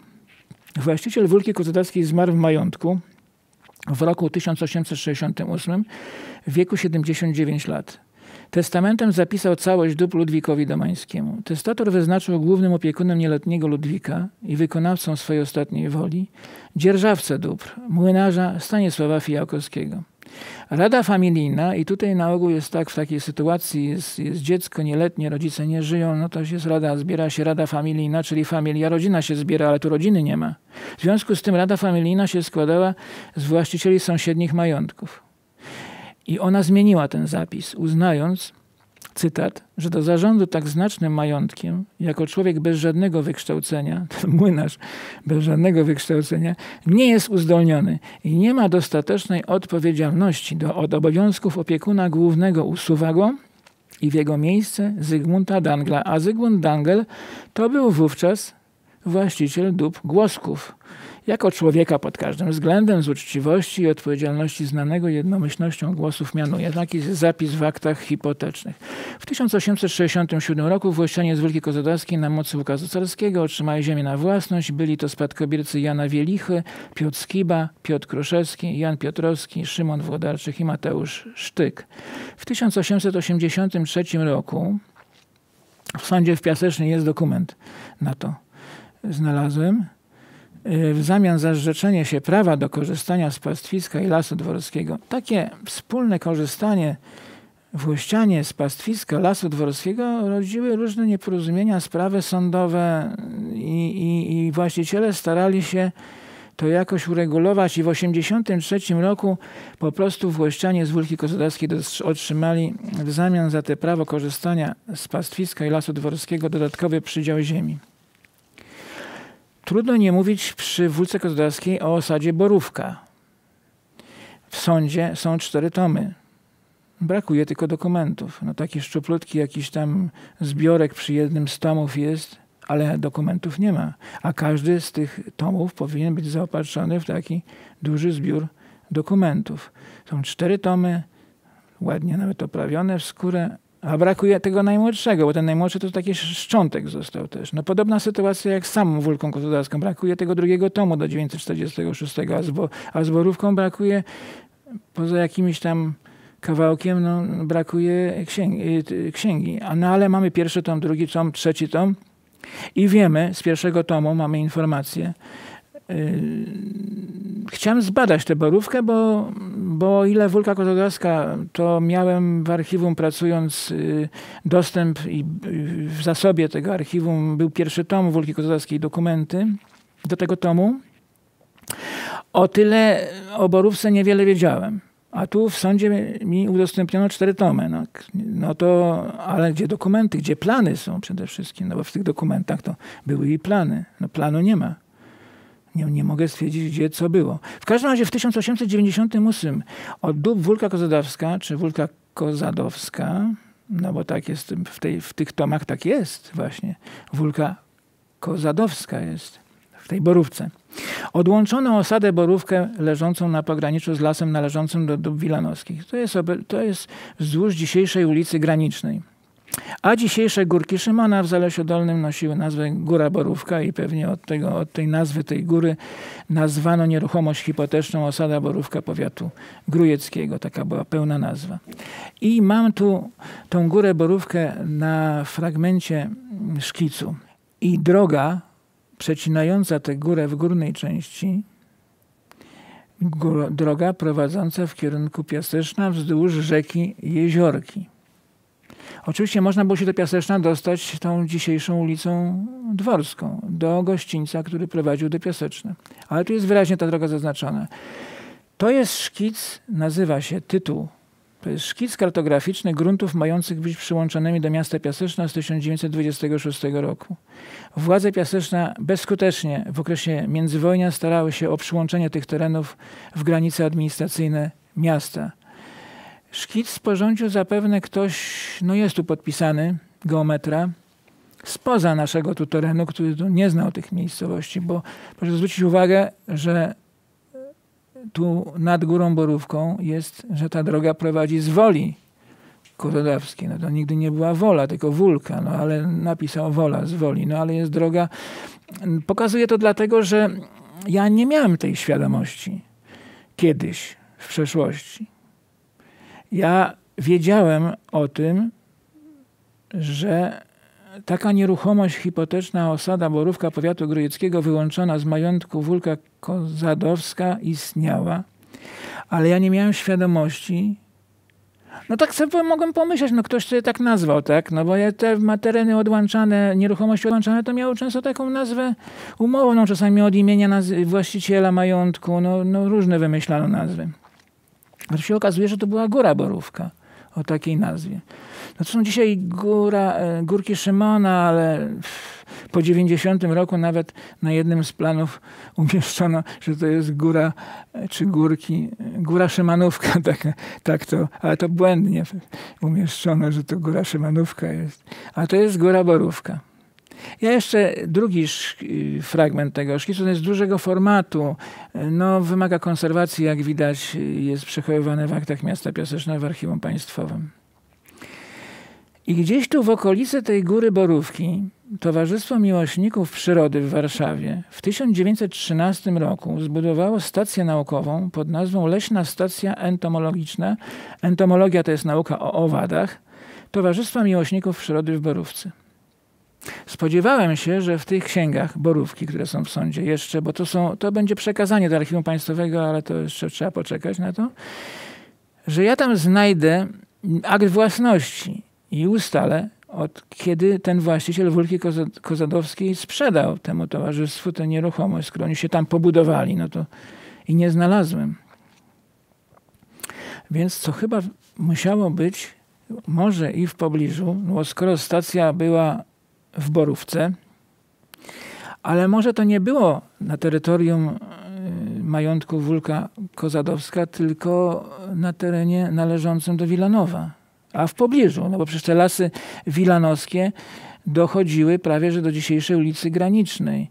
I w zaświadczeniu, bo wójt gminy Jazgarzew, wówczas kiedy wydzielano tą osadę Borówka, musiał wydać zaświadczenie, swoją aprobatę wyrazić na piśmie, że wyraża, no też w, za jego wiedzą musiało się to odbyć, tak? I to zaświadczenie jest y, w aktach hipotecznych.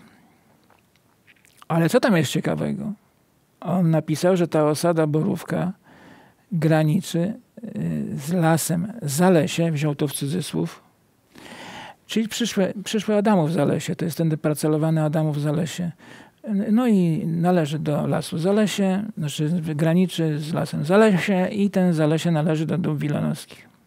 Dobra zielanowskie to się składały z wielu folwarków, to już nawet można powiedzieć, że to była majętność, a nie dobra ziemskie, bo to był olbrzymi majątek złożony z wielu e, folwarków.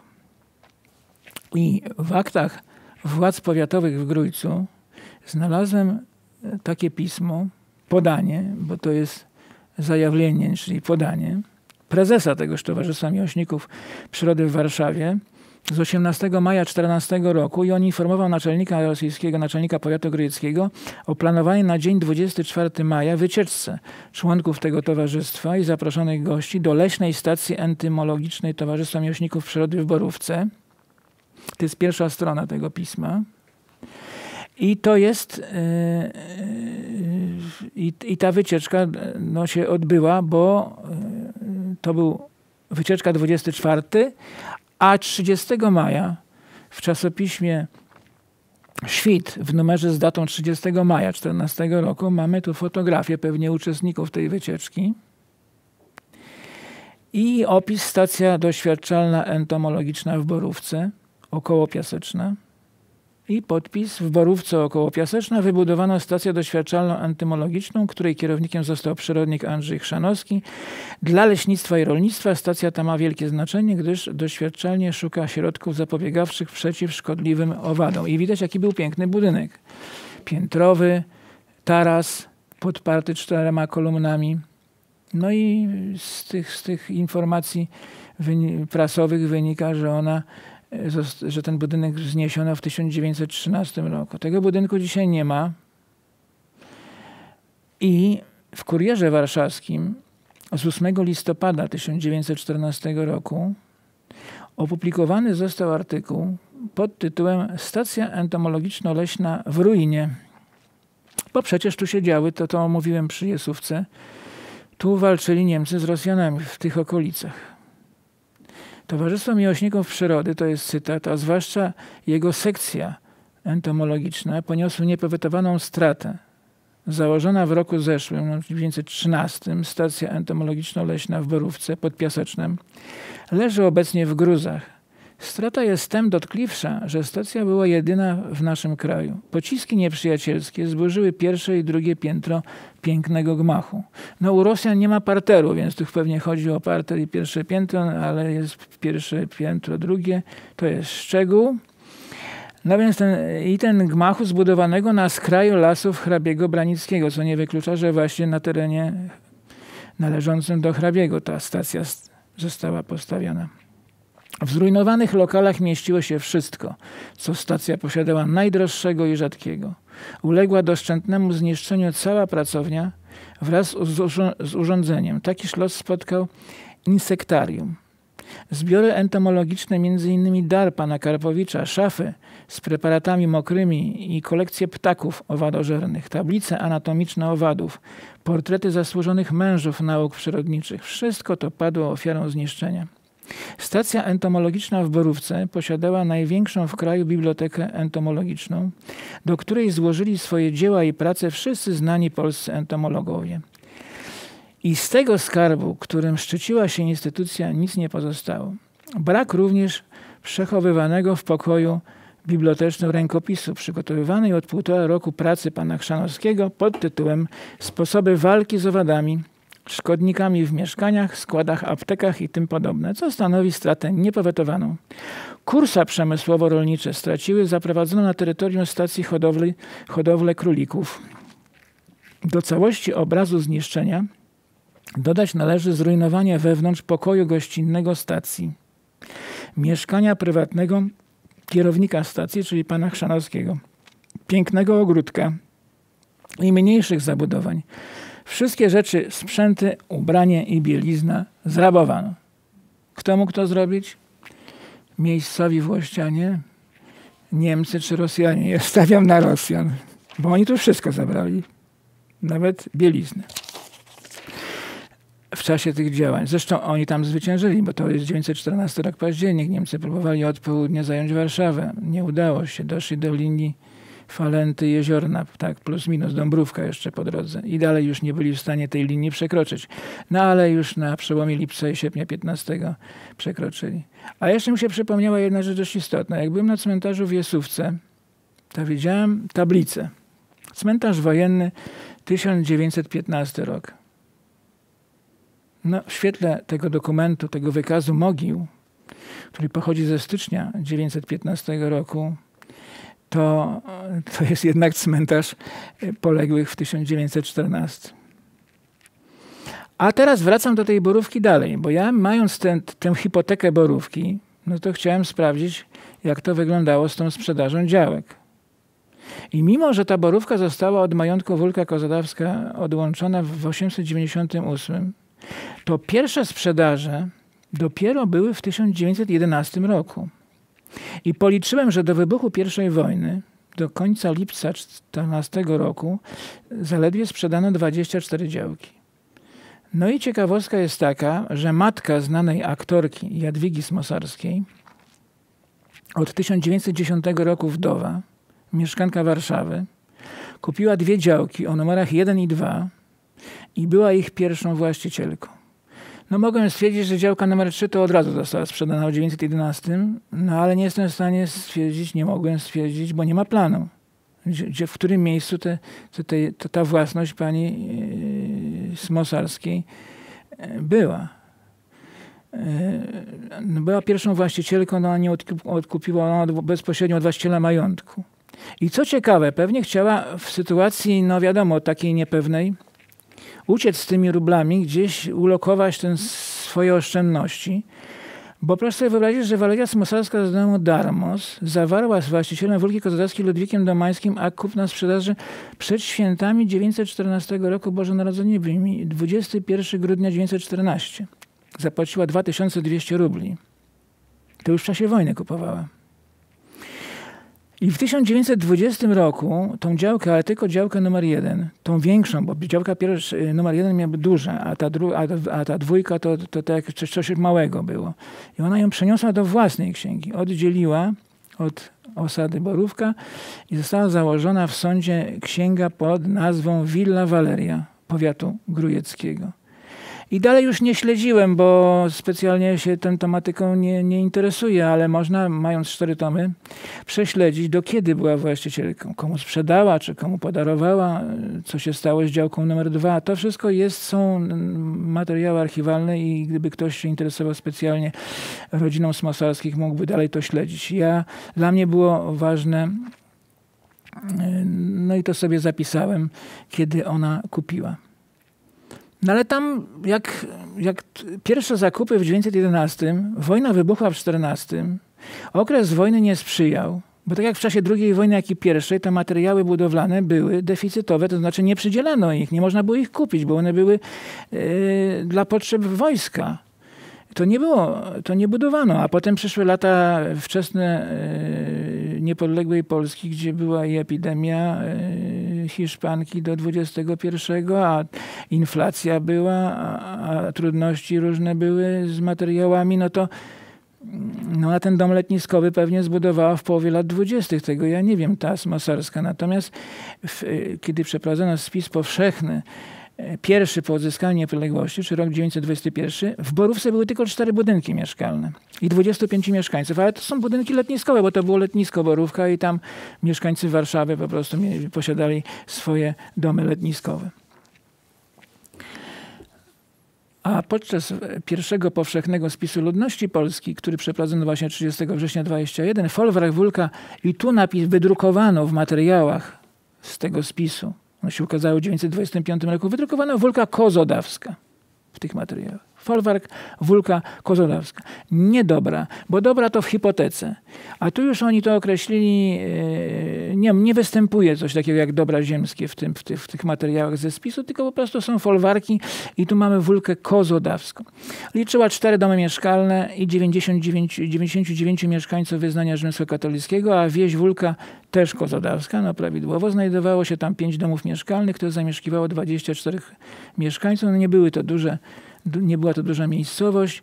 Natomiast y, leśnictwo Domankę, nie pisano gajówki, dawniej to gajówki, a tutaj to już leśnictwo, zimny dół, leśnictwo, domanka, leśnictwo, leśnictwo, domanka i osadę.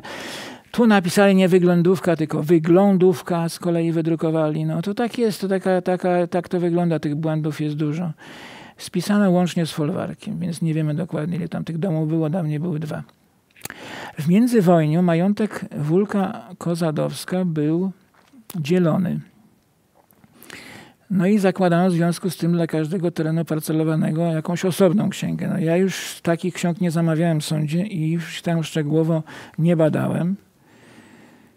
E, to już są, to są lata międzywojenne. Ja nie wiem, jak do tego się ma dzisiaj tak zwane RODO, bo mogą żyć dzieci tych, tych właścicieli jeszcze którzy wtedy nabywali te, te, te, te, te grunty, no ale to już jest zupełnie inna sprawa. W każdym bądź razie założono księgę hipoteczną pod nazwą e, Osiedle Wólka Kozadowska, Letniska, litera A.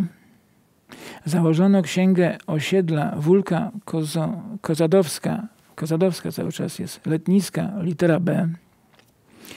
I, za, i y, plany parcelacji tych dwóch y, obszarów zostały sporządzone w roku 1924 i 1927. W roku 1929 Okręgowy Urząd Ziemski w Warszawie zatwierdził plan parcelacji nieruchomości miasto Ogród Zalesie, a w 1930 miasto Ogród Zalesie litera A opierając się na tej ustawie, o której mówiłem z 25 roku o wykonaniu reformy rolnej. W 1931 właściciel majątku Tadeusz Zawadzki uzyskał zezwolenie na sprzedaż nieruchomości miasto Las Zalesie o powierzchni ponad 220 hektarów. To jest ta część dzisiejszego Zalesia Dolnego, która położona jest po prawej stronie od szosy czy ulicy, no bo to są ulice dzisiaj, prowadzącej z Piaseczna w kierunku Gołkowa. I prezentuje, już była ta góra Borówka na szkicu, bo tak się to określono, a teraz prezentuję następny fragment tego szkicu kartograficznego gruntów mających być przyłączonymi do miasta Piaseczna w 1926 roku. U góry las sosnowy rozparcelowany na place pod budynki własność Tadeusza Zawadzkiego 220 hektarów 1800 metrów kwadratowych. To jest przyszłe miasto Las Zalesie, gromada miasto Las Zalesie i widoczna jest gajówka od strony Piaseczna a poniżej, poniżej torów kolejowych i, i szosy do Gołkowa. Las sosnowy przeznaczony do parcelacji dobra Wilanów. I to jest przyszły obszar e, o nazwie Adamów Zalesie. I kiedy tu już zaczęto budować domy, i zbudowano stacyjkę, przystanek kolejki wąskotorowej, to on był po stronie miasta Lasu Zalesie i na tych przedwojennych zdjęciach tej stacyjki mamy napis, że to jest miasto Las Zalesie. To dzisiaj to jest Zalesie, Zalesie czy Zalesie Dolne, a to było miasto Las Zalesie. I teraz było tak, że była gromada z, z sołtysem, ale ona była w mieście Lesie Zalesie. A Adamów Zalesie należał do tej gromady. No tak przykładowo, jak dzisiaj w gminie Lesznowola jest y, jest sołectwo Jazgarzewszczyzna, do, której, do którego to sołectwa należą łoziska. No bo trudno dla czasami małe miejscowości, trudno było w każdej miejscowości sołtysa powołać i w każdej miejscowości utworzyć gromadę. No więc tak to mniej więcej w okresie międzywojennym wyglądało. Mam pewne informacje już z archiwum państwowego dotyczące mm, tego terenu parcelowanego pod nazwą osiedle Wólka Kozadowska Letniska w liczbie mnogiej, litera B. I tam wyczytałem, że zakładano już, odłączano do tego z kolei, to było takie mnożenie, bo tak mamy tu Wólkę Kozłowską Dobra Ziemskie, odłączono osiedle Wólka Kozłowska Letniska, a tu z kolei odłączono i nazwano. I była taka nieruchomość Bogdanówka, Willa Róże, Biały Domek, Wandzinek, Nasza, Doczkówka, tak jak sobie ludzie wymyślili, że, że właściciele, że Haków, Radeczczanka, Willa Braterstwo, Mogło być od nazwiska właściciela. Na przykład była tam taka willa Rugowo, właściciel Rugiewicz i Bolesławów, właściciel Bolesław Kajum, tu mamy od imienia. Z tym, że sytuacja wygląda w ten sposób. Przykładowo. Jest e, e, w sądzie księga, właściciel ma swoją własną księgę i ona się nazywa Willa Wandzinek na przykład powiatu grujeckiego. Ale jak zbudował ten dom letniskowy, to sobie mógł inaczej nazwać. I, czy, I wcale nie musiało się nazywać Wandzinek. Nawet do dzisiaj są te napisy na tych, na tych willach, tam gdzieś w Zalesiu Dolnym, czasami się trafiają. One się mogło zupełnie inaczej nazywać. Ale tak ustalił, że jak już odłączy się od tej dużej księgi, założy dla swojej nieruchomości książeczkę, to, to sobie tak nazwie w, w, tej części litera B to spostrzegłem, przeanalizowałem te akta, które znalazłem w archiwum państwowym, że te działki kupowali głównie, to jest ta, to te A, B, y, to są tereny już, y, miasto Ogród, to nie są zalesiane tereny, to już były takie, no nie to co miasto Las Zalesie. A z miastem Lasem Zalesie jest taka sytuacja, jeszcze do niego wrócę, że to taki teren był trochę podmokły, w odróżnieniu od terenu należącego do Wilanowa bliżej rzeki Jeziorki. I nawet znam taki przypadek rodziny, która pierwotnie w tym mieście Lesie, mieście Lesie Zalesiu kupiła nieruchomość przed wojną, ale stwierdzili, że to wcale nie jest dobry punkt na zamieszkanie, bo teren jest podmokły. Nie wiem dlaczego tak stwierdzili. I kupili nieruchomość na terenie Orężnej, czyli dzisiaj to Orężna jest dzielnicą Piaseczna. I przenieśli się do tej Orężnej. Kto kupował? No to urzędnicy, przemysłowcy, nauczyciele, handlowcy, kolejarze i tramwajarze z Warszawy. Średnia powierzchnia działki tam wynosiła 1500 metrów. Jeszcze jest taka sytuacja, że przecież tutaj poprowadzono tory kolejowe, kolej wąskotorową. I rzeczywiście y, w aktach hipotecznych znalazłem informację, wpis, taki zapis, y, a wpisu nie ma, dlatego że nie ma tego drugiego tomu. A pierwszy się kończy 899, więc nie, nie, nie widziałem księgi z pisem, ale są dokumenty. Okazuje się, że w 1900 roku równo w 1900 roku, czyli to było już wpisane do drugiego tomu, Towarzystwo Akcyjne Drogi Żelaznej Warszawa Góra Kalwaria Grujec kupiło od właściciela Wólki Kozadowskiej grunty pod budowę bocznicy do cegielni Gołków i to pierwotnie była tylko ta bocznica od głównej linii, która szła z Warszawy przez Piaseczno do Góry Kalwarii. I to jest właśnie e, fotografia, którą wykonałem w sądzie 1 września, jak korzystałem z akt. I tu mamy plan. Y, plan. Yy, szczęśliwie wolno było robić zdjęcie, bo to się zastanawiałem, czy w sądzie się zgodzą na to, że ja będę fotografował.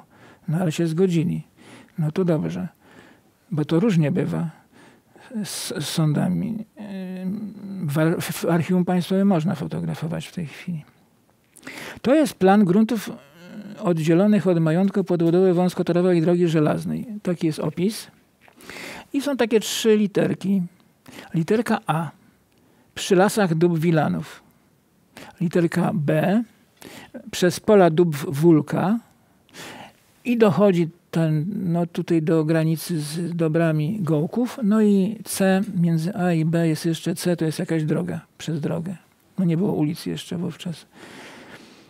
Co do kolejnych właścicieli tego majątku, wiemy, że był Ludwik Domański właścicielem, bo o tym mówiłem. On umiera w 1916 roku. Umiera w parafii Zbawiciela w Warszawie, bo mieszkał przy Nowowiejskiej 28 w wieku 66 lat. W akcie zgonu napisano, że się urodził w Wólce Kozodawskiej i był synem Wincentego i Zofii. O tyle jest istotne, nie wiem jak miała nazwisko Zofia, bo nie jest to podane w akcie zgonu, umieszczone. No ale to jest ten nieślubny właśnie, ten syn. No to wiemy, że miał matkę Zofię. Tu już, bo wcześniej to, to było wiadomo, że Wincenty go adoptował, tak, przysposobił. Na mocy e, testamentu własnoręcznego z dnia 13 stycznia 1913 dobra Wólka Kozodawska i ta większa, nierozpracowana jeszcze część osady Borówka przeszły na rzecz pozostałej po nim wdowy Leontyny Domańskiej. Akt zgonu Leontyny Ksawery z Segnów Domańskiej został spisany w 1922 roku w parafii Słomczyn, ale zmarła w miejscowości Nadbrzeż. Nadbrzeż to jest po drugiej stronie Wisły, na prawym brzegu. Zmarła w Nadbrzeżu, jeszcze dodano w cudzysłowie Kłopotowie. Nadbrzeż Kłopotowa. W wieku 74 lata. Ale ona z tych terenów pochodziła, bo ona się w ogóle urodziła w Jeziornie. W 1920 roku Komisja Ziemska Okręgowa w Warszawie udzieliła Leontynie Domańskiej, bo ona jeszcze żyła, tak, zezwolenia na sprzedaż dóbr Tadeuszowi Zawadzkiemu. Przed wybuchem I wojny światowej on mieszkał w mieście Tarnopolu w Galicji w zaborze austriackim. Tyle mogłem ustalić, ponieważ w aktach hipotecznych jest jego umowa przedślubna sporządzona u notariusza w Łęczycy w czerwcu 1914 roku. I on był właścicielem w międzywojniu, ale do kiedy on był i co dalej się działo, to tak do końca nie wiem, no bo nie ma księgi hipotecznej. Natomiast wiem, że z akt wynika, że w roku 1939 i podczas II wojny światowej właścicielką Wólki Kozadowskiej była Halina Manduk Ołtoszewska. To pewnie była do końca do reformy rolnej, która była przeprowadzona w 44, w 40, na podstawie przepisu 44, ale była przeprowadzona w 45, 46 na naszym terenie. Czego przede wszystkim historykowi jest brak? Ja już się zbliżam do końca, ale to jeszcze nie jest zupełny koniec, bo jeszcze o okolicach opowiem. Niewiele, ale, ale jeszcze na koniec. Otóż brakuje nam tak zwanych akt podworskich. Bo owszem, właściciel miał swoje własne jakieś, nazwijmy to papiery w cudzysłowie. Jeżeli byśmy trafili dzisiaj do właściciela, on pewnie nie żyje, do dzieci, wnuków, prawnuków, to co oni mogą mieć? No albumy ze zdjęciami, jakąś korespondencję, no pewnie coś takiego mają. Natomiast nie ma akt podworskich. Jest to określenie stosowane w archiwistyce polskiej na akta, które zostały w okresie reformy rolnej 45-6 przejęte przez państwo. No ale ale państwo nie przejmowało tych akt. Czy one były, te archiwa we dworach? Co przejęto? No głównie przejęto archiwalia i dzisiaj są przechowywane w Archiwum Głównym Akt Dawnych i właśnie to są tak zwane akta podworskie arystokracji. Z naszego terenu, z terenu dzisiejszego powiatu piaseczyńskiego do Archiwum Akt Dawnych trafiły akta tylko hrabiów potulickich z Obór, dzisiaj gmina Konstancin Jeziona. Z powiatu grujeckiego trafiły akta z, z tego pałacu w Małej Wsi y, w Grujeckiem to jest y, pałac Lubomirskich, a księciów Lubomir, książęta Lubomirscy, no i potem pani Morawska wyszła, mezalians popełniła i wyszła za mąż za Morawskiego, czyli to jest majątek Lubomirskich Morawskich. Dobra Wilanów. Tam się zachowały nawet i akta w aktach podworskich, akta y, Urzędu Gminy Wilanów. No bo przy ten właściciel Wilanowa był tym wójtem więc również i takie akta się zachowały. A jeśli chodzi o małe majątki, o te dwory małe, no to, no to tam e, nikt tych akt nie przejmował, nikt się tym nie interesował. Jak się zmieniał właściciel w majątku, to on tego nie zabierał ze sobą. On wziął swoje osobiste rzeczy, a archiwum było potrzebne następnemu właścicielowi bo to były spisy pracowników, plany majątku, mnóstwo y, rozmaitych archiwaliów, rachunki różne, no wszystko co tam prowadzone, cała, całe biuro, y, administracja y, majątku. Tego wszystkiego nie przejęto. I dzisiaj mam taką sytuację jako historyk, że ja mogę bazować na hipotekach, które no, nie, jest, nie jest źle. Jeśli chodzi o Wólkę Kozłowską, nie jest źle. Mamy dużo jednak tych materiałów. Mogę bazować na aktach urodzeń, małżeństw i zgonów. Akta gminne w zasadzie się nie zachowały, tych gmin. No jest olbrzymie braki archiwaliów. Dlaczego ja tak mało powiedziałem o czasach przedrozbiorowych? O tym y, okresie y, aż do XVIII wieku od średniowiecza. No bo nie ma archiwaliów. Więcej archiwaliów jest tam, gdzie było, własność była królewska. Więcej w archiwaliów jest tam, gdzie własność była tak zwana duchowna, czyli kościelna. Gdyby w Piasecznie, w okolicach, nie wiem, w Jazgarzewie, w Wólce Kozłowskiej był klasztor, na przykład w średniowieczu, no to być może by się zachowały jakieś zapiski kronikarskie, jakaś kronika do dzisiaj. Tak jak jest z Górą Kalwarią, że jakieś archiwalia mm, tych zakonów się jednak gdzieś tam przechowały, tej Nowej Jerozolimy, która powstała po potopie szwedzkim. A tu nie ma, po prostu nie ma. A dlaczego nie ma? A dlatego nie ma, że te akta, jak już był trzeci rozbiór Polski, po rozbiorach w XIX wieku, to władze rosyjskie zdecydowały, centralizujemy je, centralizacja następuje. I akta, te księgi, o których wspominałem, które były prowadzone na tym zniszczonym terenie zamku w Czersku, one trafiły do sądu, który był w górze, potem do sądu powinny trafić w Grójcu, a Grójec nie był zniszczony ani w czasie I i II wojny światowej. Te archiwalia by były i byśmy mieli informacje o szlachtach, o umowach, które zawierali. No mnóstwo rozmaitych materiałów by tam historyk wyszukał dla naszego tu omawianego terenu, ale niestety decyzja była taka, zanim jeszcze e, sąd przeniesiono z góry do Grójca w 845, przekazać do Archiwum Głównego w Warszawie. I tak te akta wszystkie zebrano i później było powstanie warszawskie. Oczywiście pewne akta były poza główną siedzibą, która była na Starym Mieście w Warszawie, ale reszta spłonęła. I, o, i mamy takie różne wyrywkowe, lakoniczne informacje, które wzbogaciłem jeszcze o informacje ze źródeł drukowanych, czyli z tych spisów różnych powszechnych, czy spisów, które wykonywano e, i, później ukazywały się drukiem. Chciałbym pokazać jeszcze fragment, bo ten plan jest dużego formatu. Znalazłem go w Archiwum Państwowym w aktach geodety, jego własnych aktach geodety Klemensa Godlewskiego z Grójca. No to jest powiat grujecki. Mówimy o powiecie grujeckim, w związku z tym on tutaj przyjechał. I tu mamy y, plan, jest ośrodek, wybrałem ten fragment, gdzie jest ośrodek dóbr. No widać, że jest jakiś dwór albo budynek mieszkalny, który Bo nie wiem, jaką był stary ten dwór wtedy, 29 rok. No widać jakiś kląb duży, jakieś alejki, teren taki zaciemniony, to jest park wokół, jak dużo budynków gospodarczych. Dzisiaj tam jest siedziba firmy Polakwa od 1995 roku. Ciekawe jest, akurat tu w tym miejscu, y, w tej części planu jest jeszcze legenda do, do tego y, całego planu. I mamy tutaj miejscowości, z którymi ten majątek Wólka Kozodawska, bo to jest plan gruntów dóbr Wólka Kozodawska. To mamy tu oczywiście jako sąsiadów wieś Jazgarzew, Jesówkę, Wólkę Kozodawską, Dobra Wilanów, majątek Gołków, letniska Borówka, tak to zapisano. No i tereny parcelowane graniczyły. Osiedla Miasto Ogród Zalesie i Miasto Ogród Zalesie litera A, one bezpośrednio graniczyły w 29 roku. Te dwa tereny parcelowane bezpośrednio graniczyły y, z gruntami dóbr Wólka Kozodawska. Tylko popełniono tu jeden błąd, bo KL to jest tak, że dobra Wólka Kozodawska, to jest plan gruntu dóbr Wólka Kozodawska, graniczyły z, dobrami Wólka Kozodawska. No i został on tutaj odręcznie skorygowany. Obecnie osiedle Zalesie Górne.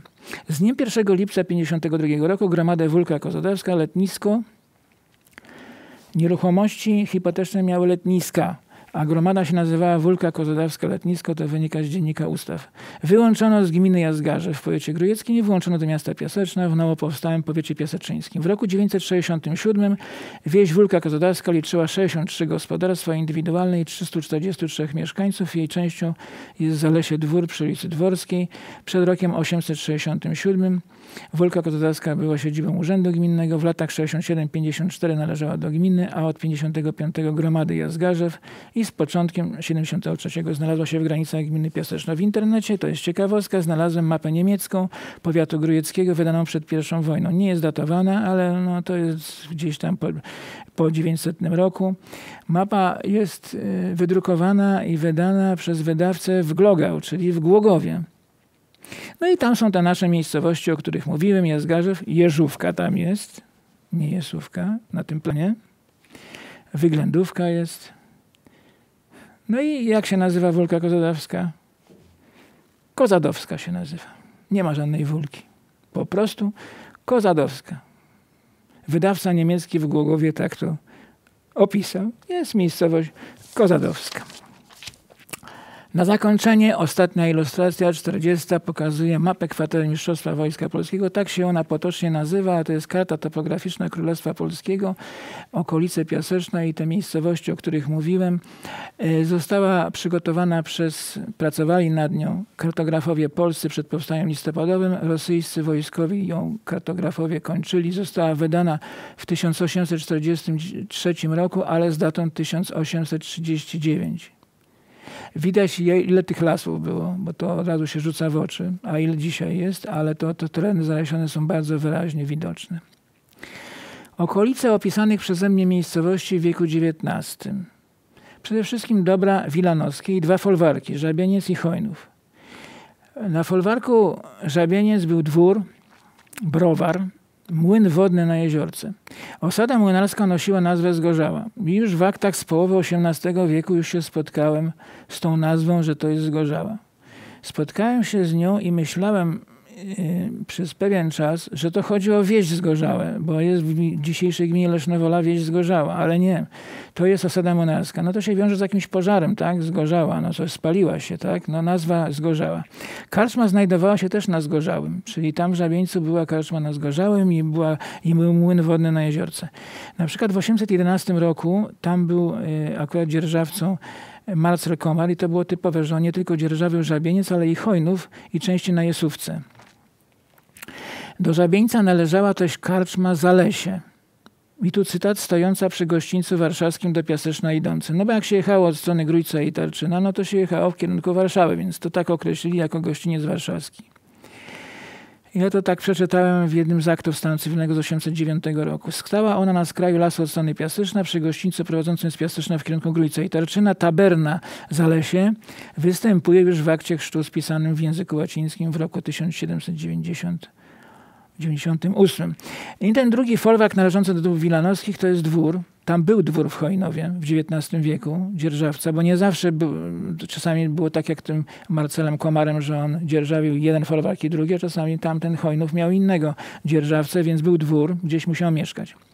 A kiedy poprowadzono trakt nowoaleksandryjski, wybudowano tam zajazd o nazwie Pilawa przy tym trakcie, czyli to będzie dzisiejsza miejscowość Pilawa. No, to jest od herbu potockich właścicieli Wilanowa. I przy tym trakcie nowoaleksandryjskim jeszcze się pojawiła karczma Widok na wysokości Żabieńca, ale po drugiej stronie yy, traktu, obok wsi, na terenie już majątku Chylice to sobie y, taki postawili, y, taką karczmę postawili właśnie i nazwali ją Widok. Nowinki jeszcze są w okolicy. Początki nowinek wiążą się, ona należała, tak jak dzisiaj, jest częścią Chojnowa i te nowinki należały do Chojnowa. Tam była karczma o nazwie Noweńka i taka występuje w aktach stanu cywilnego przy trakcie wareckim. W Nowańce mieszkał też Gajowy Lasów do dób Chojnowa należących. Osada leśna nosiła także nazwę Syberia. I na tym planie, który tutaj widzimy, jest, y, jest y, opis, że mm, Syberia Wel, czyli albo, Wel to jest albo, nowinki. Miała taką nazwę podwójną. Albo tak, albo tak. Wymieniona na tej mapie została. I jeszcze dzisiaj droga prowadząca z Chojnowa do Nowinek nazywa ona jest drogą syberyjską. Nowinki w 1921 roku były wsią liczącą sześć domów. No i kolejne to mówię już samodzielne, samoistne majątki ziemskie w okolicy. Gołków miał dwór, gorzelnie, browar i garbarnie. Karczma w Bobrowcu była, należała do majątku Gołków i tam się zbiegały dwie drogi. Jedna prowadziła z Gołkowa, z majątku, od dworu w Gołkowie, druga od dworu w Woli Gołkowskiej, ale najważniejsze i dlaczego tam postawiono karczmę, no bo po prostu tam była droga, która prowadziła e, z Piaseczna do sąsiedniego miasta Nadarzyna. Młyn wodny nosił nazwę w Gołkowie Zofin, prawdopodobnie od imienia e, żony właściciela majątku, bo ona miała na imię Zofia w połowie XIX wieku, ale później był nazywany Czerwonką i tak było podczas spisu powszechnego 921 i karczma, która stała po drugiej stronie drogi do Jazgarzewa e, też się nazywała Czerwonka. Cegielnia w Gołkowie zaznaczona jest już na mapie wojskowej 839, czyli na tej, której reprodukcję pokazuje. W 901 do cegielni poprowadzono bocznicę e, od głównej linii kolejki wąskotroje Warszawa Góra Kalwaria. W Woli Gołkowskiej był dwór i karczma z zajazdem, w Głoskowie dwór, gorzelnia, browar, cegielnia, dwa młyny wodne – w Głoskowie była karczma z zajazdem. Druga znajdowała się w folwarku Zielone. Folwark Zielony należał do majątku Głosków, bo pod koniec XIX wieku majątek Głosków składał się z czterech folwarków. Z Głoskowa, Karolina, Wólki, Prackiej i Zielonego. U Stanów, dzisiaj w gminie Prażmów, tam był dwór i karczma. No jak nie było jakiegoś, jakiejś większej rzeki, to tam był wiatrak. No i zostają jeszcze dobra instytutowe, zwane szpitalnymi albo fundacją. To są pęchery Ubiska, Runów, Biele, Wólka Jazgarzewska, nazwana później pęcherską. Ale na tej mapie, na tej tutaj pokazywanej przeze mnie jest pęcherska, nie jest pęcherska, Jazgarzewska jeszcze jest. Dwór znajdował się w pęcherach. W pierwszej połowie XIX wieku do gminy Pęchery należał młyn wodny na jeziorce na terenie osady Biele. Wraz z karczmą wymieniony został już w czasie wizytacji generalnej parafii Jazgarze w 1778 roku. W połowie XIX wieku mieszkał tu Gajowy. Siostry zakonne posiadały także karczmy. Karczmę w Ubiskach i Runowie. No była jeszcze ta karczma w Jazgarzewie. W 1814 w Jazgarzewie spisano akt urodzenia dziecka Cieśli, który mieszkał, cytat, w miejscu zwanym Cegielnia Panieńska. No to nazwa od panien zakonnych, należącym do Pęcher, w domu dworskim pod numerem pierwszym. Cegielnia ta zaznaczona jest na mapie wojskowej 839, czyli tej, której tu pokazuję reprodukcję. Według niej, mm, jak spojrzymy, położona była pomiędzy osadą Biele a Wólką Jazgarzewską, czyli pęcherską później. W 921 roku na folwarku Wólka Pęcherska były tylko dwa domy i 16 mieszkańców. Dawna osada Biele jest obecnie częścią wsi Bogatki. Biele to także nazwa jednego z rezerwatów przyrody w lasach chojnowskich. Wólka Pęcherska stanowi obecnie część Pęcher. Dziękuję za uwagę.